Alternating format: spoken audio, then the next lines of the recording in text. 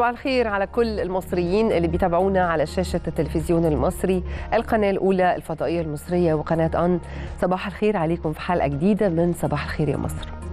آه بنتمنى وبندعي في كل يوم جديد إنه الأيام اللي بنعيشها آه تمر على خير.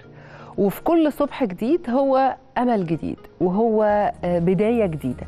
وإذا كنا بنسميه أمل جديد وبداية جديدة إحنا كمان عارفينه إنه كمان منحة ربانية جديدة لكل واحد فينا إنه يختار اختيارات جديدة إنه يكمل رسالته إنه ببساطة كده كل يوم الصبح يراجع نفسه ويجدد اختياراته لأنه الحقيقة كل يوم الصبح عندنا اختيارات جديدة.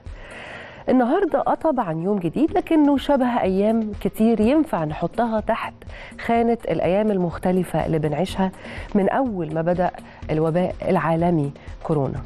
يوم طبعا هتتجدد فيه أسئلة كتير بعضها عن دورنا ناحية الفيروس وبعضها عن أدوارنا الشخصية ناحية الأزمة دي بشكل عام. أنا شخصيا سعيدة ويمكن ناس كتير بيشاركونا الإحساس بالامتنان إنه أخيرا إحنا بقينا بنكرم الأبطال زي أي ممرض أو دكتور أو صيدلي. حد موجود دلوقتي في معمله بيدور على دواء في الأزمة دي. دول أبطال حقيقيين زي رجال الأمن رجال المرور الناس اللي إحنا عارفين إن دورهم مهم جدا في أزمة كبيرة زي دي. بس مش لازم أكون أي حد من دول علشان أحس إن أنا ليا دور حقيقي.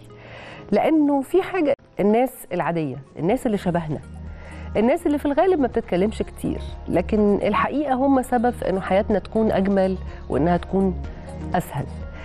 الأبطال بتوع الحياة اليومية من أول عامل النظافة لحد التاجر اللي بيراعي ربنا في إنه يوصل للناس كل احتياجاتهم بشكل آمن. آه موظف السوبر ماركت اللي واقف طول النهار يرص بضاعة ويشيل بضاعة عشان الناس برضو ما تحسش بأي قلق. الأم اللي بتحاول تراعي ولادها وإنها تخفف عنهم عبء. النفسي للأزمة دي وإحساس والأسئلة الكتير اللي هي نفسها ما عندهاش إجابات عنها كل دول أبطال الحياة اليومية. أنت شخصيا وكل واحد فينا بطل في الحياة اليومية لو بس كان سبب في إنه حد غيره يكون يومه النهارده أسهل. خلونا نتمنى وندعي إنه ربنا يدينا يوم جديد ويدي بلدنا كل الخير. صباح الخير على حضراتكم وصباح الخير يا مصر.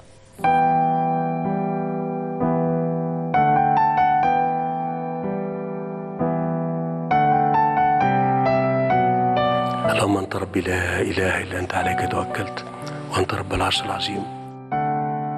ما شاء الله كان وما لم يشاء لم يكن ولا حول ولا قوة إلا بالله العلي العظيم. أعلم أن الله على كل شيء قدير وأن الله قد أحاط بكل شيء علما. اللهم إني أعوذ بك من شر نفسي ومن شر كل دابة. أنت آخذ بناصيتها. إن ربي على صراط مستقيم.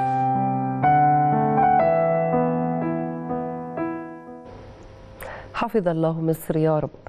آه زي ما كنا حالا بنتكلم عن أبطال الحياة اليومية أنا عايزة أكلمكم عن أبطال البرنامج وأصبح كده على آه زميلاتي الجميلات آه منا وإيمان. صباح الخير عليكم. صباح الخير عليك يا دينا. وصباح الخير لكل مشاهدي. صباح الخير يا مصر. صباح الخير عليك يا منى صباح الفل عليك يا إيمان. صباح الفل عليك يا دينا. صباح الخير على كل مشاهدينا ومتابعينا زي ما أنتم شايفين إحنا دلوقتي واقفين. ابتدينا نتعامل مع موضوع الحظر الصحي أو الحجر الصحي اللي إحنا بناخد بالنا من نفسنا وابتدينا نطبع وبقى عندنا عادات الوضع اختلف وإحنا الصبح كده لسه بنظبط الكادرات بتاعتنا وبنشوف هنقف فين. أستاذ هاني كان لسه بيقول لي منى انت وإيمان ضموا على بعض شوية وبعدين رجع التراجع كده وإحنا بنتناقش. وقال لي لا كده أحسن علشان تسيبوا مع بعض مسافة آمنة. آه هي مش متر قوي يعني بس اهو ابتدينا. خطوة يعني. محاولة إن إحنا نحافظ على المسافة الأمنة اللي المفروض تكون عادة. يعني مش بس وقت أزمة كورونا لكن في كل الأوقات سواء في طابور الحساب في السوبر ماركت في طابور ماكينات ال ATM الصراف الموجودة في الشوارع. المفروض دي تكون ثقافة عندنا. دينا اتكلمت عن الأبطال والحقيقة إنه كل ولادنا وبناتنا اللي عندهم تحدي امتحانات أونلاين التعليم عن بعد اللي هو تجربة جديدة الجديده آه، كان فيها كلام كتير عن إنها هتكون عملية مش هتكون عملية. الظروف آه، اضطرتنا إن إحنا نتعامل مع هذه التجربة وبدأت بالفعل امتحانات آه، أولى ثانوي والحقيقة عدت بنجاح. الإنترنت الحمد لله كان شغال بشكل طبيعي آه، ما حصلتش أي عكوسات وده شيء مبشر إن التجربة ممكن تستمر خاصة مع أزمة كورونا.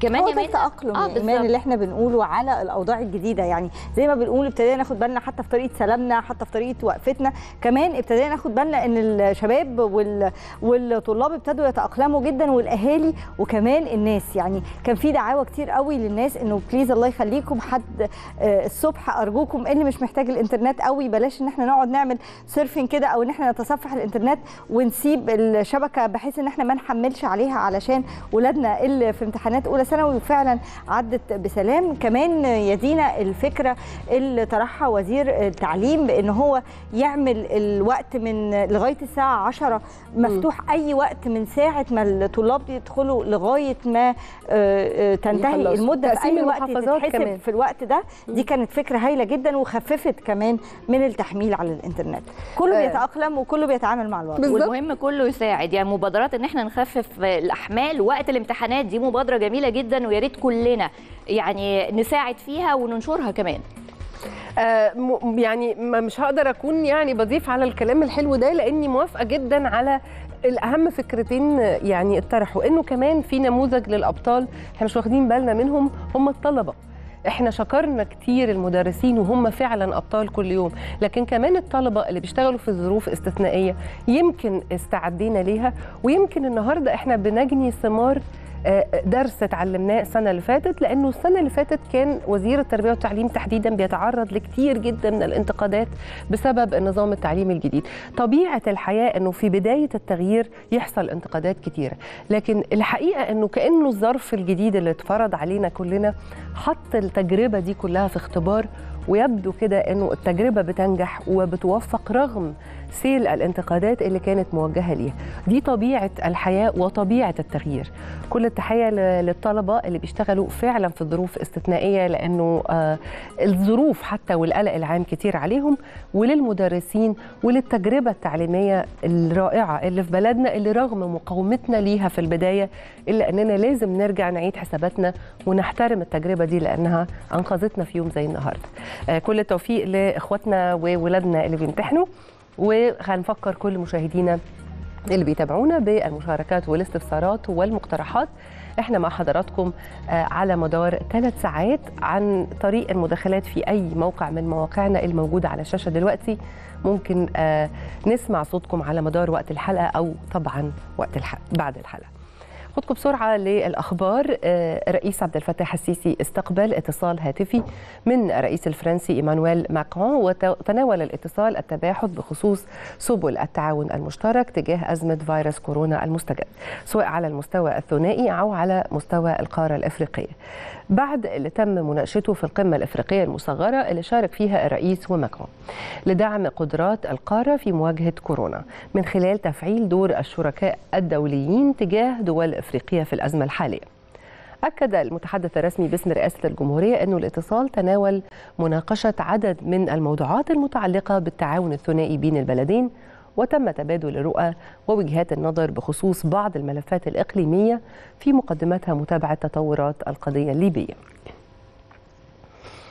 الرئيس عبد الفتاح السيسي أيضا وجه الحكومة بسرعة إجراء الكشف الطبي على كل العاملين في معهد الأورام من الأطباء وأطقم التمريض.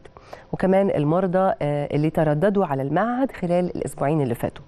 وحصر كل المخالطين لأي حالات إيجابية ظهرت علشان يتم الكشف الطبي عليهم. أكد الرئيس على توفير الرعاية الطبية الكاملة لكل الحالات المصابة. وجدد الرئيس التأكيد على أولوية سلامة وصحة المواطنين اللي لازم تكون في المقام الأول في إطار إدارة الدولة لأزمة مكافحة فيروس كورونا. الخبر ده مهم لأنه امبارح كان في تساؤلات كتير عن ما تم تداوله بخصوص إصابة أحد الممرضين في معهد الأورام. في أزمة عالمية زي دي وأعتقد أنه في إدارة كل الأزمات زي ما السيد الرئيس بيقول أهم حاجة هي المكاشفة. ولا داعي ولا مصلحة ولا جدوى من إخفاء أي معلومة. اولا لأن المرض ليس وصمة. ولأنه في كل بلاد العالم ظهرت الأمراض ولأنه القطاع الصحي من أكثر القطاع- القطاعات المعرضة للإصابة. كل التاخير هو آه، الملامة فالإجراءات الجدية دي ممكن تطمنا. تطمن أهالينا من المترددين على معهد الأورام إنه بيتم حصر الموضوع وبالتأكيد سهل جدا آه، حصر المترددين على المعهد في الفترة دي برغم إن يكون عددهم كبير لكن يمكن حصرهم من خلال آه، كشوفات المعهد ونتمنى السلامة لكل آه، الناس يا رب وتكون في أضيق الحدود. الرئيس السيسي تفقد نماذج المعدات اللي طورتها القوات المسلحة المصرية لدعم القطاع المدني للمساهمة في مكافحة انتشار فيروس كورونا واللي استخدمتها لتطهير وتعقيم المنشآت المختلفة. هنشوف تفاصيل أكتر في الفيديو اللي جاي. دي مجهودات في كل مكان. المجهودات في كل القطاعات آه، للحماية والتطهير. في استمرار كمان لجهود القوات المسلحة لمواجهة خطر انتشار فيروس كورونا آه، قامت الإدارات التخصصية للقوات المسلحة بتعقيم وتطهير ميدان رمسيس ومحطة سكك حديد مصر وكمان مسجد الفتح وشارع رمسيس وأحمد حلمي وكلود بيه والسبتية والفجالة والجمهورية وموقف الترجمان. تفاصيل أكتر في التقرير اللي معانا ده. صدقوني آه، حاجة مشرفة اللي إحنا بنشوفها. وزي ما طول عمرنا بنقول رب ضارة نافعة من ضمن أهم المميزات اللي حصلت في حياتنا كلنا هو اعتيادنا للحالة دي من النظافة. اعتيادنا زي ما إيمانه منا سبق وقالوا اعت- اعتيادنا لعادات جديدة الطبيعي بقى إنها تفضل جزء من سلوكنا. الأماكن اللي إحنا شفنا حالا إنها بيتم تطهيرها دي من أكتر الأماكن المزدحمة. وبصراحة كده مش هنخبي على بعض كان بيحصل ممارسات من بصق على الأرض ومن إلقاء مخلفات في أي مكان. وكان في حالة كده من الفوضى والعشوائية اللي إحنا كنا السبب فيها. ما كانش في حد تاني هو السبب فيها. لكن قد تكون ال- الحالة دي العامة من النظافة ومش عيب نقول كده معدية ومستمرة وتكمل إن شاء الله بعد عبور هذه الأزمة. عودة ليد الحكومة اللي إحنا كلنا كشعب شايفين إنها آه، منضبطة وعاملة أو خالقة حالة انضباط. الخبر اللي- جاي بيتكلم عن الدكتور مصطفى مدبولي رئيس الوزراء اللي أكد إنه في توجيه رئاسي بالتعامل بصورة حاسمة جدا مع البناء العشوائي خصوصا مع اللي بيستغلوا ظروف تعامل الدولة مع تداعيات فيروس كورونا علشان يقوموا بالبناء العشوائي. شدد رئيس الوزراء على تحويل أي مخالفة بناء للنيابة العسكرية في ظل قانون الطوارئ. مع تشديد الحملات من المحليات والمرور وتنفيذ الإزالات الفورية لأي مخالفة. ده كان في الاجتماع اللي شارك فيه وزراء التنمية المحلية والداخلية ومحافظتي القاهرة والجيزة ومدير الأمن في المحافظتين. اللي أكد فيه دكتور مدبولي أن الدولة مش هتسمح لحد أنه يتربح من الأزمة الحالية. والجملة الأخيرة في الخبر هي الجملة المفتاحية. في كل أزمة في قطاع كده من الناس هم يعني نقدر نشبههم بالنباشين كده اللي بيعبثوا في كل حاجة من بواقي وفضلات الأزمة عشان يحققوا منها مكاسب شخصية. النوع ده من الناس إحنا شفناه بوضوح جدا أيام الثورة. لكن وعي الحكومة وعدم تكرار الأخطاء واحدة من الحاجات اللي مهم نبص عليها ونبقى متابعينها وفخورين إنها بتحصل في بلدنا. وقت الثورة حصل حملة عظيمة جدا وعنيفة جدا من البناء العشوائي. آه، إحنا سعداء إن ده ما يتكررش في ظل انشغال كل أجهزة الدولة بفيروس كورونا. اللجنة الوزارية الاقتصادية برئاسة الدكتور مصطفى مدبولي وافقت على صرف المساندة التصديرية للشركات الصغيرة اللي إجمالي مستحقاتها 5 مليون جنيه فأقل. وده عن الفترة اللي قبل 1 7 2019 بدون انتظار ورود شهادة سداد الشركات دي للضرائب. وجه رئيس الوزراء بسرعة اتخاذ كل الإجراءات اللي بتضمن الصرف الفوري للمساندة الخاصة بالشركات في إطار الإجراءات اللي بتتخذها الدولة لمواجهة أزمة فيروس كورونا. والتخفيف من آثاره السلبية على الشركات. كل يوم بنسمع خبر عن دعم القطاع آه، الخدمي وال- والقطاع الاستثماري في مصر ده تداعيا أو نظرة مستقبلية لأنه في أزمة اقتصادية قادمة على العالم كله وإنه مصر بتحاول تقلل حجم الخسائر الاقتصادية سواء للأفراد أو للشركات.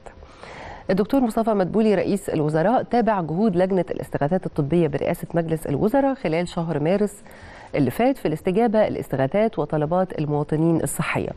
والتواصل المباشر معاهم في ظل الظروف والتداعيات الصحية اللي بتمر بيها البلاد في مواجهتها لفيروس كورونا. وضح الدكتور حسام المصري المستشار الطبي لرئاسة الوزراء ورئيس اللجنة أنه كان في رصد واستجابة لأكثر من 400 استغاثة خلال شهر مارس كان ليها علاقة بعمليات جراحية وتم تلبية احتياجات المواطنين من الأدوية غير المتوفرة والمساهمة في تكاليف العناية المر- المركزة. وأيضا دعم آه، الحالات اللي كانت قادمة عن طريق الحوادث.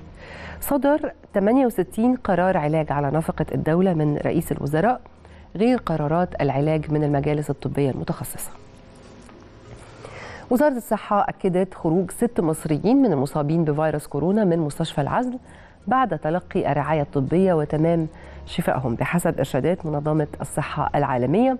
وبكده بيرتفع إجمالي المتعافين من الفيروس إلى 247 والحالات اللي تحولت نتائج تحاليلها من إيجابية لسلبية لفيروس كورونا ارتفعت إلى 346 حالة من ضمنهم ال 247 متعافي.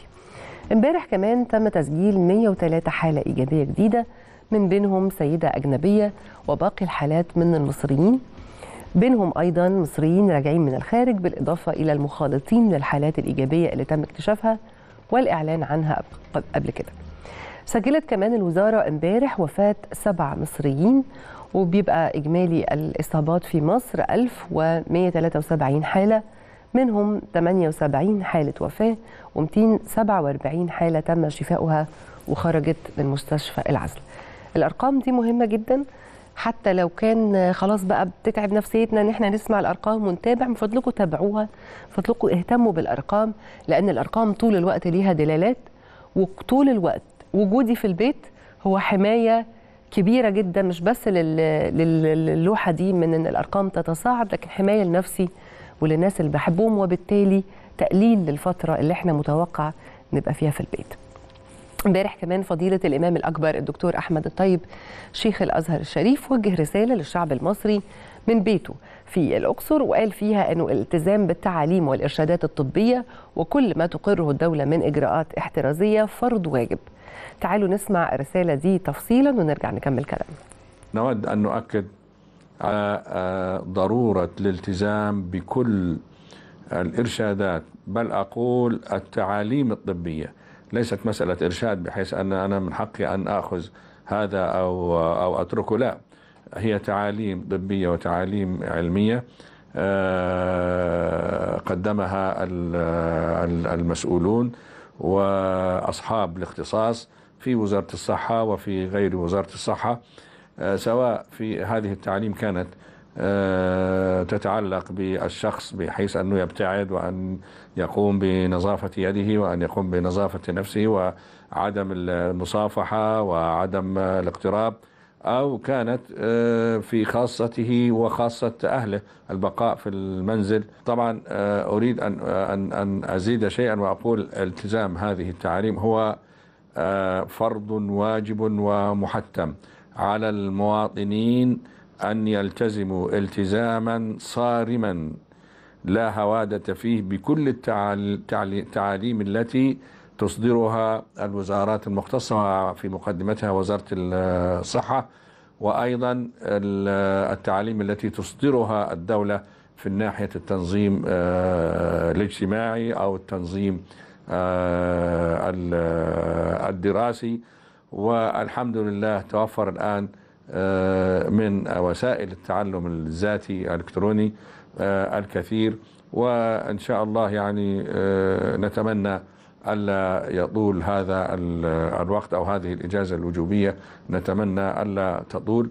وعما قريب إن شاء الله نسأل الله سبحانه وتعالى أن يدفع عنا هذا الوباء وأن يكتب لنا النجاة جميعا. الحقيقة فضيلة الإمام الأكبر مش بس أرسل الرسالة المنطوقة لكنه أرسل كمان رسائل تانية غير يعني آه، الرسائل المنطوقة. إنه أولا آه، رسالته من بيته هي آه، الدليل بالقدوة يعني أو التعامل كقدوة حقيقية. هو موجود في بيته وبيكلم الناس في رسالة غاية في الأهمية. العلاقة ما بين الدين والعلم ابدا ما كانت علاقة متضادة. لكن بعض الخطابات الجهلة صورت كده طول الوقت إنه كأنه الدين فيه تحدي مع العلم وكأنه العلم عدو للدين وللإيمان. الحقيقة إنه رجال الدين المستنيرين بيودونا في منطقة تانية وخصوصا في المحكات دي. بيقولوا لنا إنه لا طبعا الدين جعل لأجل الإنسان وإنه الحقيقة إنه العلم طول الوقت في خدمة الإنسان. فلا تضاد ولا صراع ما بين الاثنين الدين ومعرفة الله والارتباط به ما زال مستمر حتى رغم توقف الشعائر أو شعائر العبادة في دور العبادة لكن بيطلع علينا رجال الدين بهذه الرسائل المستنيره ويقولوا لنا إنه العلم أيضا عبادة وبيكرموا العلم والعلماء. أنا سعيدة جدا برسالة فضيلة الإمام الأكبر وسعيدة بكل القادة الدينيين اللي بيقدموا حقيقي نماذج مهمة جدا في إدارة الأزمة هم كمان. الفريق أسامة ربيع رئيس هيئة قناة السويس وجه بدعم صندوق تحيا مصر بمبلغ 5 مليون جنيه لصالح حساب مواجهة الكوارث والأزمات في الصندوق. ده للمساهمة في مواجهة انتشار فيروس كورونا. كمان وجه رئيس الهيئة بتخصيص مبلغ 5 مليون جنيه لدعم الإجراءات الاحترازية والوقائية لمكافحة فيروس كورونا في محافظة بورسعيد. في إطار المسؤولية المجتمعية لهيئة قناة السويس والمشاركة الفعالة في جهود الدولة لمكافحة فيروس كورونا. عفوا. ده الوقت اللي بتواصل فيه قوافل الخير أيضا التابعة للهيئة توزيع الاحتياجات والمستلزمات الغذائية على ألف أسرة من الأسر الأكثر احتياجا في مدن القناة. طلبة الصف الأول الثانوي بدأوا التدريب على موقع منصة الاختبارات الإلكترونية من خلال أجهزة التابلت من المنازل. ده كان في اليوم الأول للاختبارات التدريبية لطلبة أولى ثانوي وبالفعل قام بالتسجيل وإجراء اختبار اللغة العربية 578 ألف طالب وطالبة من داخل المنازل.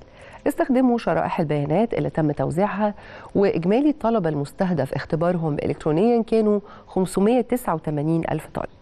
كان من بينهم 11 ألف طالب واجهتهم بعض المشاكل التقنية تم رصدها من فرق الدعم الفني على مستوى الجمهورية وبيعملوا على حلها في الاختبارات القادمة. أه قبل ما ناخدكم لتقرير صباح الخير يا مصر التقرير المميز جدا اللي عايزه أشكر كل زمايلي بقى فيه يعني من أول رئيس تحرير لحد مينا اللي راح عمل التقرير ده مع أحد الطلبة في الصف الأول الثانوي. عايزين بس نخلي بالنا من الدور التقني لكل المهندسين وجنود الصف الثاني في وزارة التربية والتعليم لأن الناس دول هم اللي اخذوا على عاتقهم حاجتين. اولا كل الانتقادات والمشاكل التقنية واللوم اللي حصل السنة اللي فاتت في اختبارات الصف الأول الثانوي كان قصاد عينهم وأخدوا على عاتقهم كمان تحدي إجراء امتحان إلكتروني في ظل ضغط شديد جدا على الإنترنت في مصر وفي العالم كله. الإنترنت فيه حاليا مشاكل تقنية. فالناس دول إنهم يقدموا نسب النجاح دي 500 حاجة و40 ألف طالب منهم 11 ألف يحصل معاهم مشاكل تقنية يتم مراعاتها. دي نسبة عظيمة جدا. يعني لازم نحييهم. وتعالوا نشوف التفاصيل أكتر في التقرير اللي مينا عمله لنا والمعايشة مع الطالبة رحاب تامر. أنا عايزة أحيي رحاب الجميلة البنت اللطيفة اللي هي سمحت لنا إن إحنا نعايشها في وقت بسيط من غير ما فريق العمل يزعجها وهي بتمتحن. والدها أستاذ تامر عرفت كده من من زمايلي إنه هو كمان مدرس. فعشان كده هو استخدم نفس الكلمات اللي إحنا كنا مشغولين بيها المقاومة إنه الأهالي كانت بتقاوم وإنه المقاومة اللي حصلت وإنه اللي بيحصل ده كان جزء في استعداد الطلبة للاختبارات الحقيقية اللي جاية. عايزة بس أقول لكم بسرعة جدا حاجتين. اولا اللي يعرف إنه في تعليم بريطاني أكيد في مصر وفي أنواع كتير من التعليم. تعليم بريطاني توقف وامتحاناته توقفت وهم حتى الآن ما عندهمش قرارات تخص هنعمل إيه. إنما من حقك تكون فخور إنه التعليم المصري مكمل في التجربة اللي بدأت من السنة اللي فاتت. وبس عايزة أقول جملة يعني اختلفت فيها مع أستاذ تامر والد رحاب لما بيقول إنه أزمة كورونا هتخلينا نكمل في الاتجاه اللي وزير التعليم عاوزه. الحقيقة مش وزير التعليم هو اللي عايزه. الحقيقة إنه العالم هو اللي عاوزه. إحنا اولادنا بيجهزوا أو بيتجهزوا للعالم ده. العالم الإلكتروني واستخدامهم لكل المعطيات الطبيعية للعالم. فإحنا بنجهز ولادنا. إحنا مش بنضحي عشان الوزارة لكن إحنا بنضحي عشان ولادنا يخوضوا التجربة وينجحوا فيها إن شاء الله. استمرارا للتجارب التعليمية آه، أونلاين. كمان وزارة التعليم العالي والبحث العلمي أعلنت عن إطلاق مبادرة خليك مستعد لأطباء الامتياز وطلاب كلية الطب بالجامعات المصرية. علشان يكونوا خط دفاع تاني للجيش الأبيض لمواجهة فيروس كورونا. وكمان يكونوا جاهزين لأي تكليف لدعم القطاع الصحي ولدعم الدولة في القضاء على الجائحة اللي انتشرت في دول العالم. استعدت كليات الطب في تطبيق المبادرة من خلال تدريب عدد من أطباء الامتياز وطلاب السنوات النهائية المتطوعين على كيفية التعامل مع مرضى فيروس كورونا بعد توفير كل وسائل الأمان والوقاية للطلاب. وتقديم شرح عملي من أساتذة كلية الطب في مختلف التخصصات عن كيفية عزل حالات الاشتباه بالإصابة بالفيروس وكيفية عزلهم في البيت بطريقة آمنة والتدريب على طرق الوقاية ومنع انتقال العدوى بين المرضى والفريق الطبي جوه المستشفيات. كمان تم التدريب على سحب العينات من المريض علشان يتم تحليلها في المعمل بطريقة سليمة. ده جنب التدريب أيضا على استخدام أجهزة التنفس الصناعي. حصل ده كله إزاي؟ مهم نشوف ده في التقرير اللي جاي. يعني كل الشكر لخطوط الدفاع الأولى والثانيه والناس المستعدين والمتطوعين في كل مكان في مصر. حاجة مشرفة حقنا كلنا نفتخر بيها والحقيقة نتعلم كمان منها. بعد الفاصل نكمل مع حضراتكم فقرات صباح الخير. يا مصر مكملين معاكم حتى العاشرة صباحا. يبقى إني آه أشكر كل الناس اللي بتبعت لنا على مواقع التواصل الاجتماعي وعلى آه آه صفحة القناة الأولى المصرية. في بعض ال- الأخبار كده أو التساؤلات والشكاوى من إحدى المستشفيات هنحاول إننا نتابعها على مدار الحلقة. ونرجع لحضراتكم مرة تانية بعد الفاصل. 6 أبريل هزيمة الصليبيين وأسر ملك فرنسا. في مثل هذا اليوم من 770 سنة وبالتحديد في 6 أبريل 1250 تمكن المصريون من هزيمة الصليبيين وأسر ملك فرنسا لويس التاسع. القصة تعود إلى سنة 1244 حين نجح الصالح نجم الدين أيوب حاكم مصر في استرداد بيت المقدس من إيد الصليبيين فقرروا تجهيز حملة عسكرية جديدة للانتقام من مصر. بعد أربع سنوات أبحرت الحملة الصليبية السبعة بقوام 1800 سفينة و80 ألف مقاتل وقيادة الملك لويس التاسع أبحرت إلى مصر. استولى الصليبيون على دمياط وظلوا فيها ست شهور قبل أن يقرروا التقدم إلى المنصورة. في القاهرة كان الصالح أيوب قد مات. حاولت شجرة الدر زوجة السلطان إخفاء الخبر حتى مجيء ابنه توران شاه من الشام وأدارت مصر في مرحلة صعبة. أعطت فيها قيادة الجيش لفارس الدين أقطاي في أول ظهور للمماليك كقادة عسكريين في مصر. وافقت شجرة الدر على خطة بيبرس باستدراج الصليبيين إلى داخل مدينة المنصورة بفتح باب من أبوابها. ابتلع الصليبيون الطعم ليفاجأوا بالسيوف من كل جانب بعد انضمام الأهالي للمعركة. تراجع الصليبيون لمعسكرهم ووصل توران شاه إلى مصر في فبراير 1250 ليعلن نبأ وفاة والده ويقود الجيش ويحاصر معسكر الصليبيين. أثناء محاولة الصليبيين الانسحاب ليلا إلى دمياط تمكن المصريون منهم في فرسكور وأسروا الملك لويس التاسع ونقل مسلسلا إلى دار القاضي ابن لقمان بالمنصورة.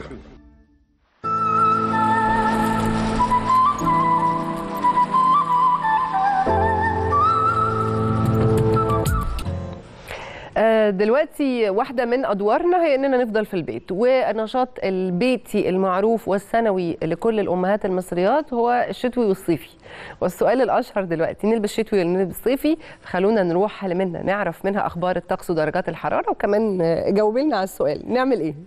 آه لسه مش عارفين والله يا دينا إحنا من أول الأسبوع قلنا إن إحنا احتمال نبتدي ندخل في قصة الصيفي لكن الأسبوع ده الجو هنلاقي فيه انخفاض ملحوظ في درجات الحرارة لسه. خلينا نشوف مع بعض خبراء الأرصاد الجوية قالوا أكدوا إن النهارده هيكون في انخفاض نسبي في درجات الحرارة عكس امبارح وتوقعوا إن الطقس النهارده في القاهرة الكبرى هيكون معتدل في النهار لطيف وبارد بالليل وهيكون في شبورة والرياح هتكون معتدلة وفي الوجه البحري هيكون نفس الموضوع وهيكون في شبورة والرياح برضو معتدلة. أما في السواحل الشمالية الغربية والسواحل الشمالية الشرقية الجو هيكون لطيف بالنهار مائل للبرودة بالليل وهيكون في شبورة والرياح أيضا معتدلة. أما في جنوب سيناء والبحر الأحمر الجو هيكون فيها حار في النهار لطيف في الليل والرياح هتكون معتدلة. أما صعيد مصر هيكون الجو فيه حر جدا في النهار ولطيف بالليل وأيضا الرياح ما زالت معتدلة في كل محافظات مصر. خلينا مع بعض نتعرف على بعض درجات الحرارة المتوقعة في بعض المحافظات ونبتدي كعادتنا من القاهرة اللي العظمى فيها 26 والصغرى 16 الإسكندرية العظمى 22 والصغرى 14 مطروح العظمى 21 والصغرى 15 بورسعيد العظمى 22 والصغرى 15 طابة العظمى 28 والصغرى 15 كاترين العظمى 27 والصغرى 14 شرم الشيخ العظمى 33 والصغرى 22 والغردقة العظمى 32 والصغرى 20 Mirim. الفيوم العظمى 28 والصغرى 17 بني سويف العظمى 29 والصغرى 17 المنيا العظمى 29 والصغرى 15 أسوان العظمى 39 والصغرى 18 الوادي الجديد العظمى 35 والصغرى 18 وحلايب العظمى 30 والصغرى 16 وزي ما إحنا شايفين المحافظات الجنوبية أغلبها الجو فيها حار جدا ودي فرصة هايلة إن إحنا نفضل قاعدين في البيت ونتقي حرارة الطقس اللي موجودة. وخلينا نتحول على طول من أخبار الطقس لل social media. وهنبدأها برجوع هاشتاج للجيوب الأنفية عشان يتصدر ترند تويتر. وده طبعا علشان بداية فصل الربيع. كتير من رواد موقع تويتر اتكلموا عن معاناتهم مع الظروف الجوية الحالية بسبب الأتربة وخصوصا مرضى الجيوب الأنفية. تعالوا مع بعض نشوف ال tweets. هاشتاج الجيوب الأنفية يعود لتصدر ترند تويتر ونبتدي مع منا اللي بتقول الجيوب الأنفية وها هو قد بدأ شهر أربعة بطريقة كوميدية. خلود بتقول صداع الجيوب الأنفية. الله يعينك يا خلود. تسنيم هلال بتقول حالة الجيوب الأنفية عندي دلوقتي ادركني يا شيبوب. أسماء دودار بتقول لسه هنام لكن الجيوب الأنفية تطلع وتظهر وتقول والله ما يحصل لازم أموتك.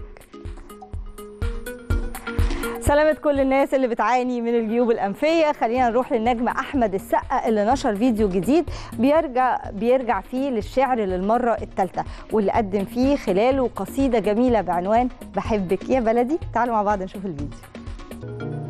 الفنان الكوميدي علي ربيع شارك جمهوره بصور لمسلسله اللي جاي في شهر رمضان على حسابه الخاص على انستجرام واللي هيشارك البطولة معاه الفنان مصطفى خاطر. علي ربيع علق على الصورتين وقال رمضان 2020 على بركة الله الصورتين علي نشرهم على صفحته بتظهر في محطة بنزين والتاني بيظهروا فيها على هيئة عمال بشكل كوميدي. وكتب على البوسترين عمرو دياب.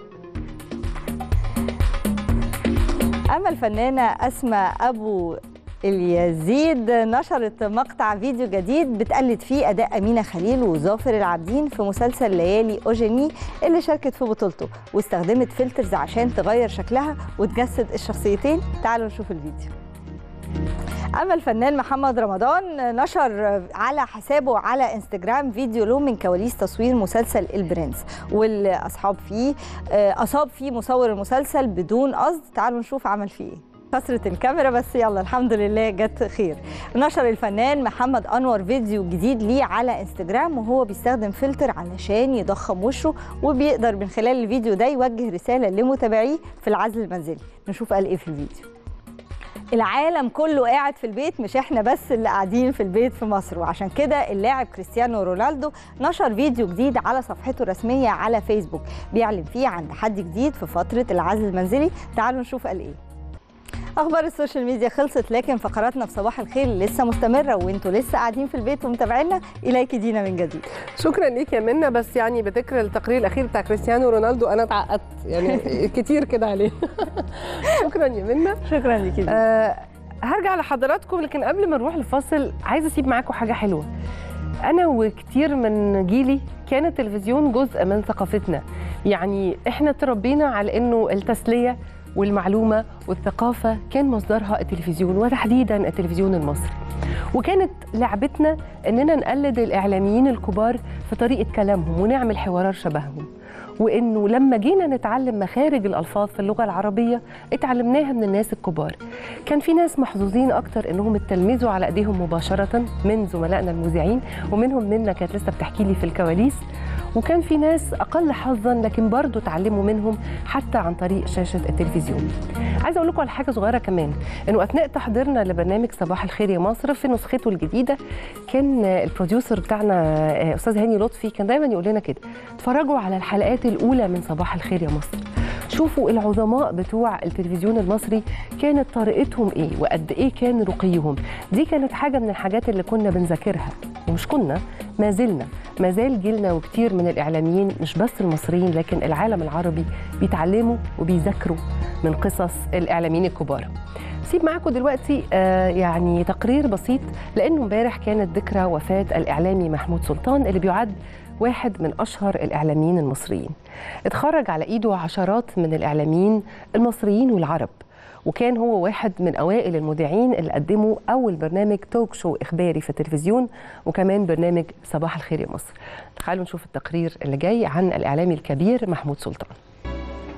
رحم الله أبطالنا وأساتذتنا الكبار ميعاد الموجز مع إيمان. وأنا عارفه أنه كمان إيمان كانت أحد الذين تأثروا بالإعلامي الكبير محمود سلطان. أكيد كان ليا شرف إني أتلقى التدريب على إيد الاعلامي الراحل الموهوب الخلوق رحمة الله عليه. بشكرك يا دينا مشاهدينا ثامنة بتوقيت القاهرة سادسة بتوقيت جرينتش. موجز الأخبار.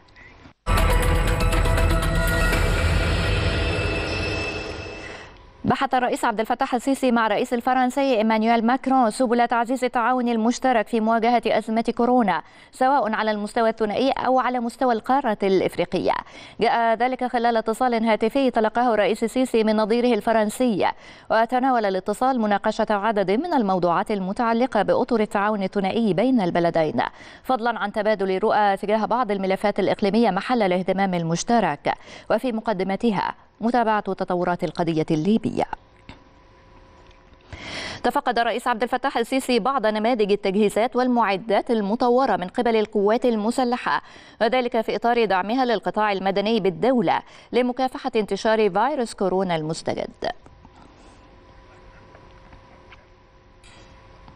أكد رئيس الوزراء مصطفى مدبولي أن الحكومة تعمل وفق هدف رئيسي هو الاستقرار على خطط وإجراءات مواجهة أزمة فيروس كورونا مع مراعاة الجانب الاجتماعي للتعامل مع المتضررين من تداعيات هذه الأزمة. وأوضح المتحدث باسم مجلس الوزراء نادر سعد أن اللجنة الوزارية الاقتصادية وافقت على صرف المساندة التصديرية للشركات الصغيرة التي يبلغ إجمالي مستحقاتها خمسة ملايين جنيه كما وجه رئيس الوزراء بسرعة اتخاذ كافة الإجراءات التي تضمن الصرف الفوري لتلك المساندة الخاصة بهذه الشركات. أعلنت وزارة الصحة ارتفاع حالات الشفاء من فيروس كورونا إلى 247 حالة وخروجهم من مستشفى العزلة وأعلن المتحدث باسم وزارة الصحة خالد مجاهد ارتفاع عدد الحالات التي تحولت نتيجة تحاليلها من إيجابية إلى سلبية لفيروس كورونا إلى 346 حالة بالإضافة إلى تسجيل 103 حالات إيجابية جديدة وسبع حالات وفاة. ليصبح إجمالي الإصابات الذي تم تسجيله حتى اليوم 1100 73 حالة و78 حالة وفاة. أكد الرئيس الأمريكي دونالد ترامب أن الولايات المتحدة ستشهد خلال الأيام القادمة ذروة انتشار فيروس كورونا. وأشار ترامب خلال المؤتمر الصحفي اليومي لخلية الأزمة بشأن مواجهة فيروس كورونا إلى أن الولايات المتحدة تعمل مع بعض الدول الصديقة لتجربة جدوى بعض اللقاحات في مواجهة الفيروس. وأوضح ترامب أنه تم إجراء فحص كورونا وتسلم نتائجه ل 1.67 مليون أمريكي منوها إلى أنه سيتم خلال يومين. نشر ثلاثة ألاف من الطواقم الطبية في نيوجيرسي ومناطق أخرى. إلى بريطانيا حيث أعلن مكتب رئيس الوزراء أن بوريس جونسون دخل المستشفى لإجراء فحوص بسبب استمرار ظهور أعراض فيروس كورونا عليه بعد عشرة أيام من تشخيص إصابته بالمرض. وفي خطاب نادر أكدت الملكة إليزابيث أن الشعب البريطاني سينتصر على فيروس كورونا إذا صمد في وجه إجراءات العزل العام معربة عن تضامن بلادها مع دول العالم في استخدام التقدم العلمي لمواجهة الفيروس. وأثنت الملكة على العاملين في مجال الرعاية الصحية لتفانيهم في العمل. أعلنت الصين تسجيل 39 حالة إصابة جديدة مؤكدة بفيروس كورونا بينهم حالة واحدة وافدة من الخارج. وقالت لجنة الصحة الوطنية إنه تم التعرف على 78 حالة جديدة لم تظهر عليها أعراض فيروس كورونا كما تم تسجيل حالة وفاة واحدة أمس. قال المتحدث باسم الجيش الوطني الليبي اللواء أحمد المسماري إن القيادة العامة تتابع تطورات فيروس كورونا مشيرا إلى أن هناك تعليمات بإنشاء مستشفيات عسكرية في كامل الأراضي الليبية. وأوضح اللواء المسماري أن هناك ثلاث غرف عمليات لبسط سيطرة الدولة على كامل الأراضي الليبية. وأكد المسماري أن الجيش الوطني الليبي عازم على إنهاء الغزو التركي ووجود الميليشيات الإرهابية. أعلن مكتب رئيس الحكومة العراقية المستقيل عادل عبد المهدي عن مقترح أمريكي بفتح حوار استراتيجي بين بغداد وواشنطن. يهدف المقترح وفقا لبيان صادر عن مكتب المهدي إلى تحقيق مصالح البلدين في ظل القرارات والمستجدات في العراق والمنطقة. وقد جاء المقترح الأمريكي خلال لقاء جمع عادل عبد المهدي بالسفير الأمريكي في بغداد ماتيو تولر الذي أكد لرئيس الحكومة العراقية مقترح واشنطن لتحديد الوفد المفاوض وموعد بدء المباحثات. وافق المدير الفني للمنتخب الإنجليزي جاريت تاوتجيت على تقليص راتبه بنسبة 30% كمساهمة منه في رفع الضغوط عن كاهل اتحاد كرة القدم في بلاده بفعل أزمة فيروس كورونا المستجد. جاءت هذه الخطوة من جانب تاوتجيت بعد توقف النشاط الكروي حول العالم وعدم ارتباط المنتخب الإنجليزي بأي مباريات في المستقبل القريب. هذا قد كان الاتحاد الأوروبي قد قرر أواخر الشهر الماضي تأجيل يورو 2020 إلى العام المقبل كما تم إلغاء المباراتين الوديتين للمنتخب الإنجليزي أمام الدنمارك وإيطاليا. ختام موجز الثامنة. أعود ألقاكم في التاسعة صباحا وموجز جديد لأهم الأنباء. أعود من جديد إلى دينا. دينا يمكن من ضمن أخبارها تنازل مدرب المنتخب الإنجليزي عن جزء من راتبه ده طبعا احتراما لتوقف النشاط الكروي. المبادرات دي يعني أكيد بنتوقف عندها ونتمنى أن هي تسود العالم كله مع أزمة كورونا. أه بوافقك الإعجاب بالمبادرة جدا وجمال المبادرات دي إنها تطوعية إنها غير مفروضة عليه ومحدش طلب منه يعمل كده فده يعني جزء من الرقي في الصورة يعني. صحيح.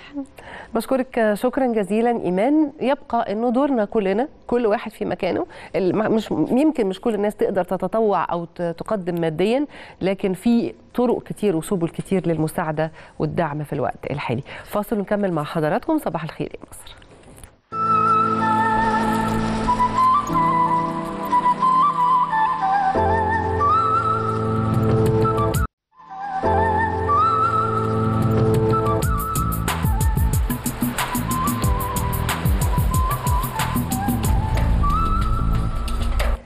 مرة تانية صباح الخير عليكم. آه وجودنا في البيت لا يلغي إنه الرياضة حاجة مهمة جدا وكتير من الناس ابتدوا يتعلموا إزاي كمان يمارسوا رياضة داخل البيت. آه معادنا دلوقتي مع أخبار الرياضة مع منى صباح الخير على كل مشاهدينا من جديد بسبب تجميد النشاط الرياضي في مصر وفي العالم كله بتناقش أجهزة الكرة في الأندية اقتراح تخفيض رواتب لاعبي الدوري الممتاز بنسبة 30% وده زي ما حصل في دوريات العالم ومنها الدوري الإنجليزي. الاقتراح أن اتحاد الكرة يحصل على 30% من عقود اللاعبي في الدوري الممتاز ويوزعها على الأندية في الدرجات الأقل واللي مش قادرة تدفع مرتبات اللاعبين عندها بسبب بسبب إيقاف الدوري. وده بعد ما تقدمت أندية الدرجة الثانية وأندية الدرجة الثالثة بشكوى لاتحاد الكرة إنها مش قادرة تدفع مرتبات اللاعبين اللي ما بقوش قادرين يستحملوا الظروف دي خصوصا إن القيمة المالية لعقدهم قليلة جدا وما عندهمش أي مصدر دخل تاني. بسبب العروض الكتير من أندية الدوري المحلي اللي جت للاعب الأهلي ناصر ماهر اللي معار لفريق نادي سموحة تواصل اللاعب مع المسؤولين في الأهلي علشان يحسموا مصيره. إذا كان هيرجع للفريق تاني في نهاية الموسم ولا يقبل عرض من العروض المغرية اللي بتجيله. ومنها عرض للاعب لصالح سموحة بشكل نهائي. المفروض إن لجنة الكره في الأهلي هتعمل اجتماع خلال أيام مع ريني فايدلر المدير الفني علشان يحددوا مصير اللاعب. بالإضافة كمان لمصير اللاعب المغربي وليد أزارو المعار لنادي الاتفاق السعودي واللي جاله ثلاث عروض لغاية دلوقتي للتعاقد خلال فترة الانتقالات الصيفية. وأكثر من ملف ما زال بيشغل نادي الزمالك منها ملف صفقات الصيف. وفي تواصل مستمر بين باتريس كارتيران المدير الفني للفريق وقطاع الكرة في النادي وده لحسم الملف ده.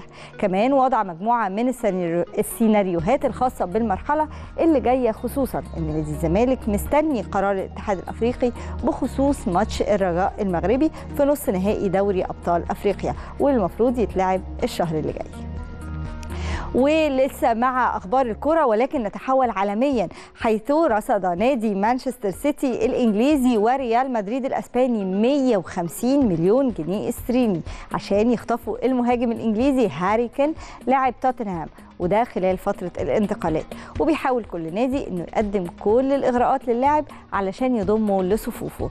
رئيس نادي توتنهام قال إنه ما عندوش أي مانع من رحيل هاري لو جالهم عرض مغري خصوصا إن الفلوس المتوقع ياخدوها من صفقة بيعه هتساهم في دعم صفوف الفريق استعدادا للموسم اللي جاي. مليون 55 مليون جنيه استرليني ده المبلغ اللي ممكن يخسره نادي ليفربول الإنجليزي هو مستحقاته من حقوق النقل التلفزيوني. وطبعا بما إن الدوري متجمد بسبب فيروس كورونا وممكن الموسم السنة دي يتلغي تماما فممكن جدا ليفربول يخسر المبلغ ده.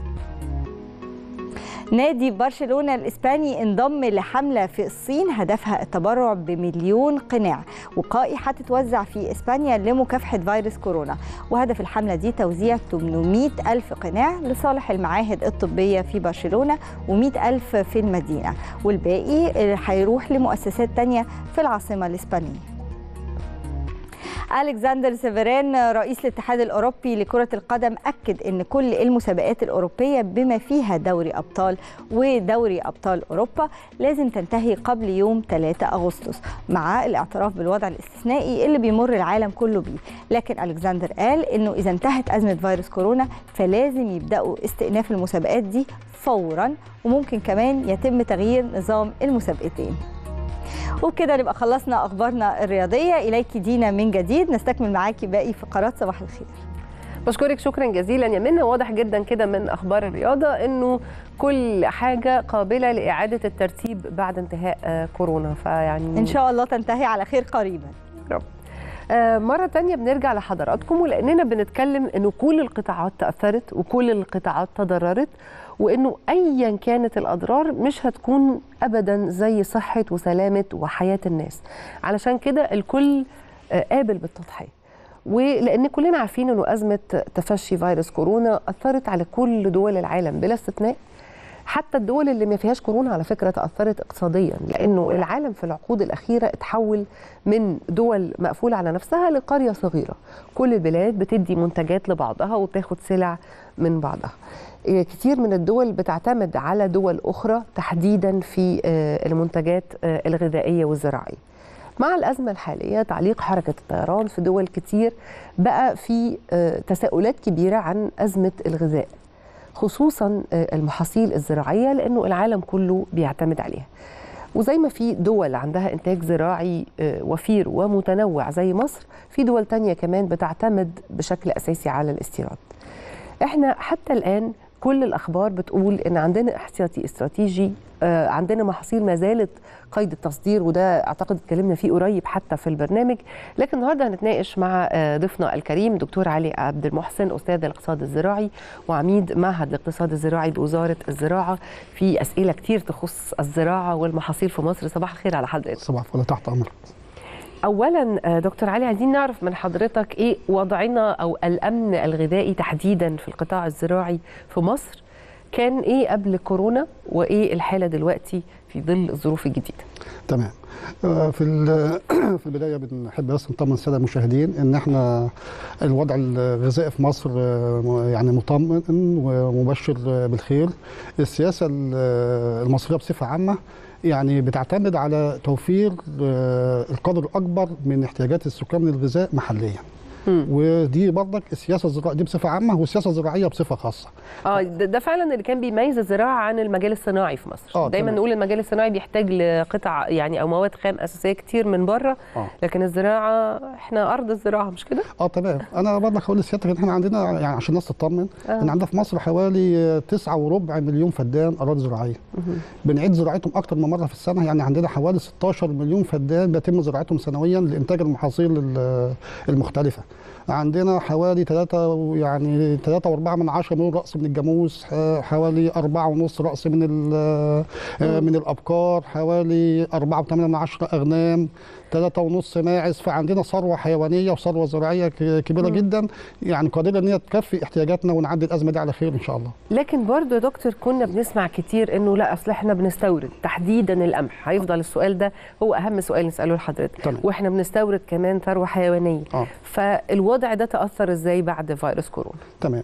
إحنا سيادتك بنستورد حوالي 50% من احتياجاتنا من القمح من الخارج. مم. وإحنا في الوقت الحالي عندنا حوالي مخزون يكفي حوالي 3 شهور. مم. والإنتاج اللي هو في الأرض في الوقت الحالي يعني المساحة المزروعة من القمح دلوقتي حوالي 3 4 من 10 مليون فدان متوقع إن هي تدينا إنتاج أكتر من 9 مليون طن.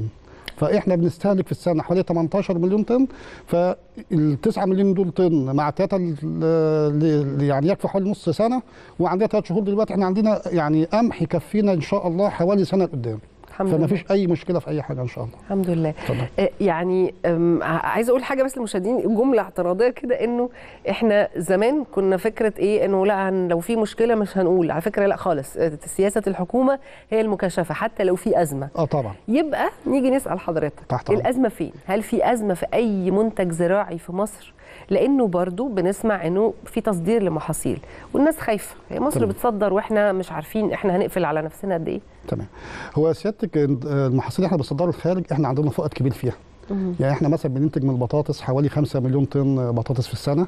بنستهلك حوالي 4 مليون طن. بنصدر حوالي آه، مليون طن فديت ميزة لينا في الوقت الحالي إن إحنا يعني نحافظ على الصادرات بتاعتنا وكده لكن ما فيش أي مشكلة آه، هتأثر على المعروض آه، في السوق المحلي.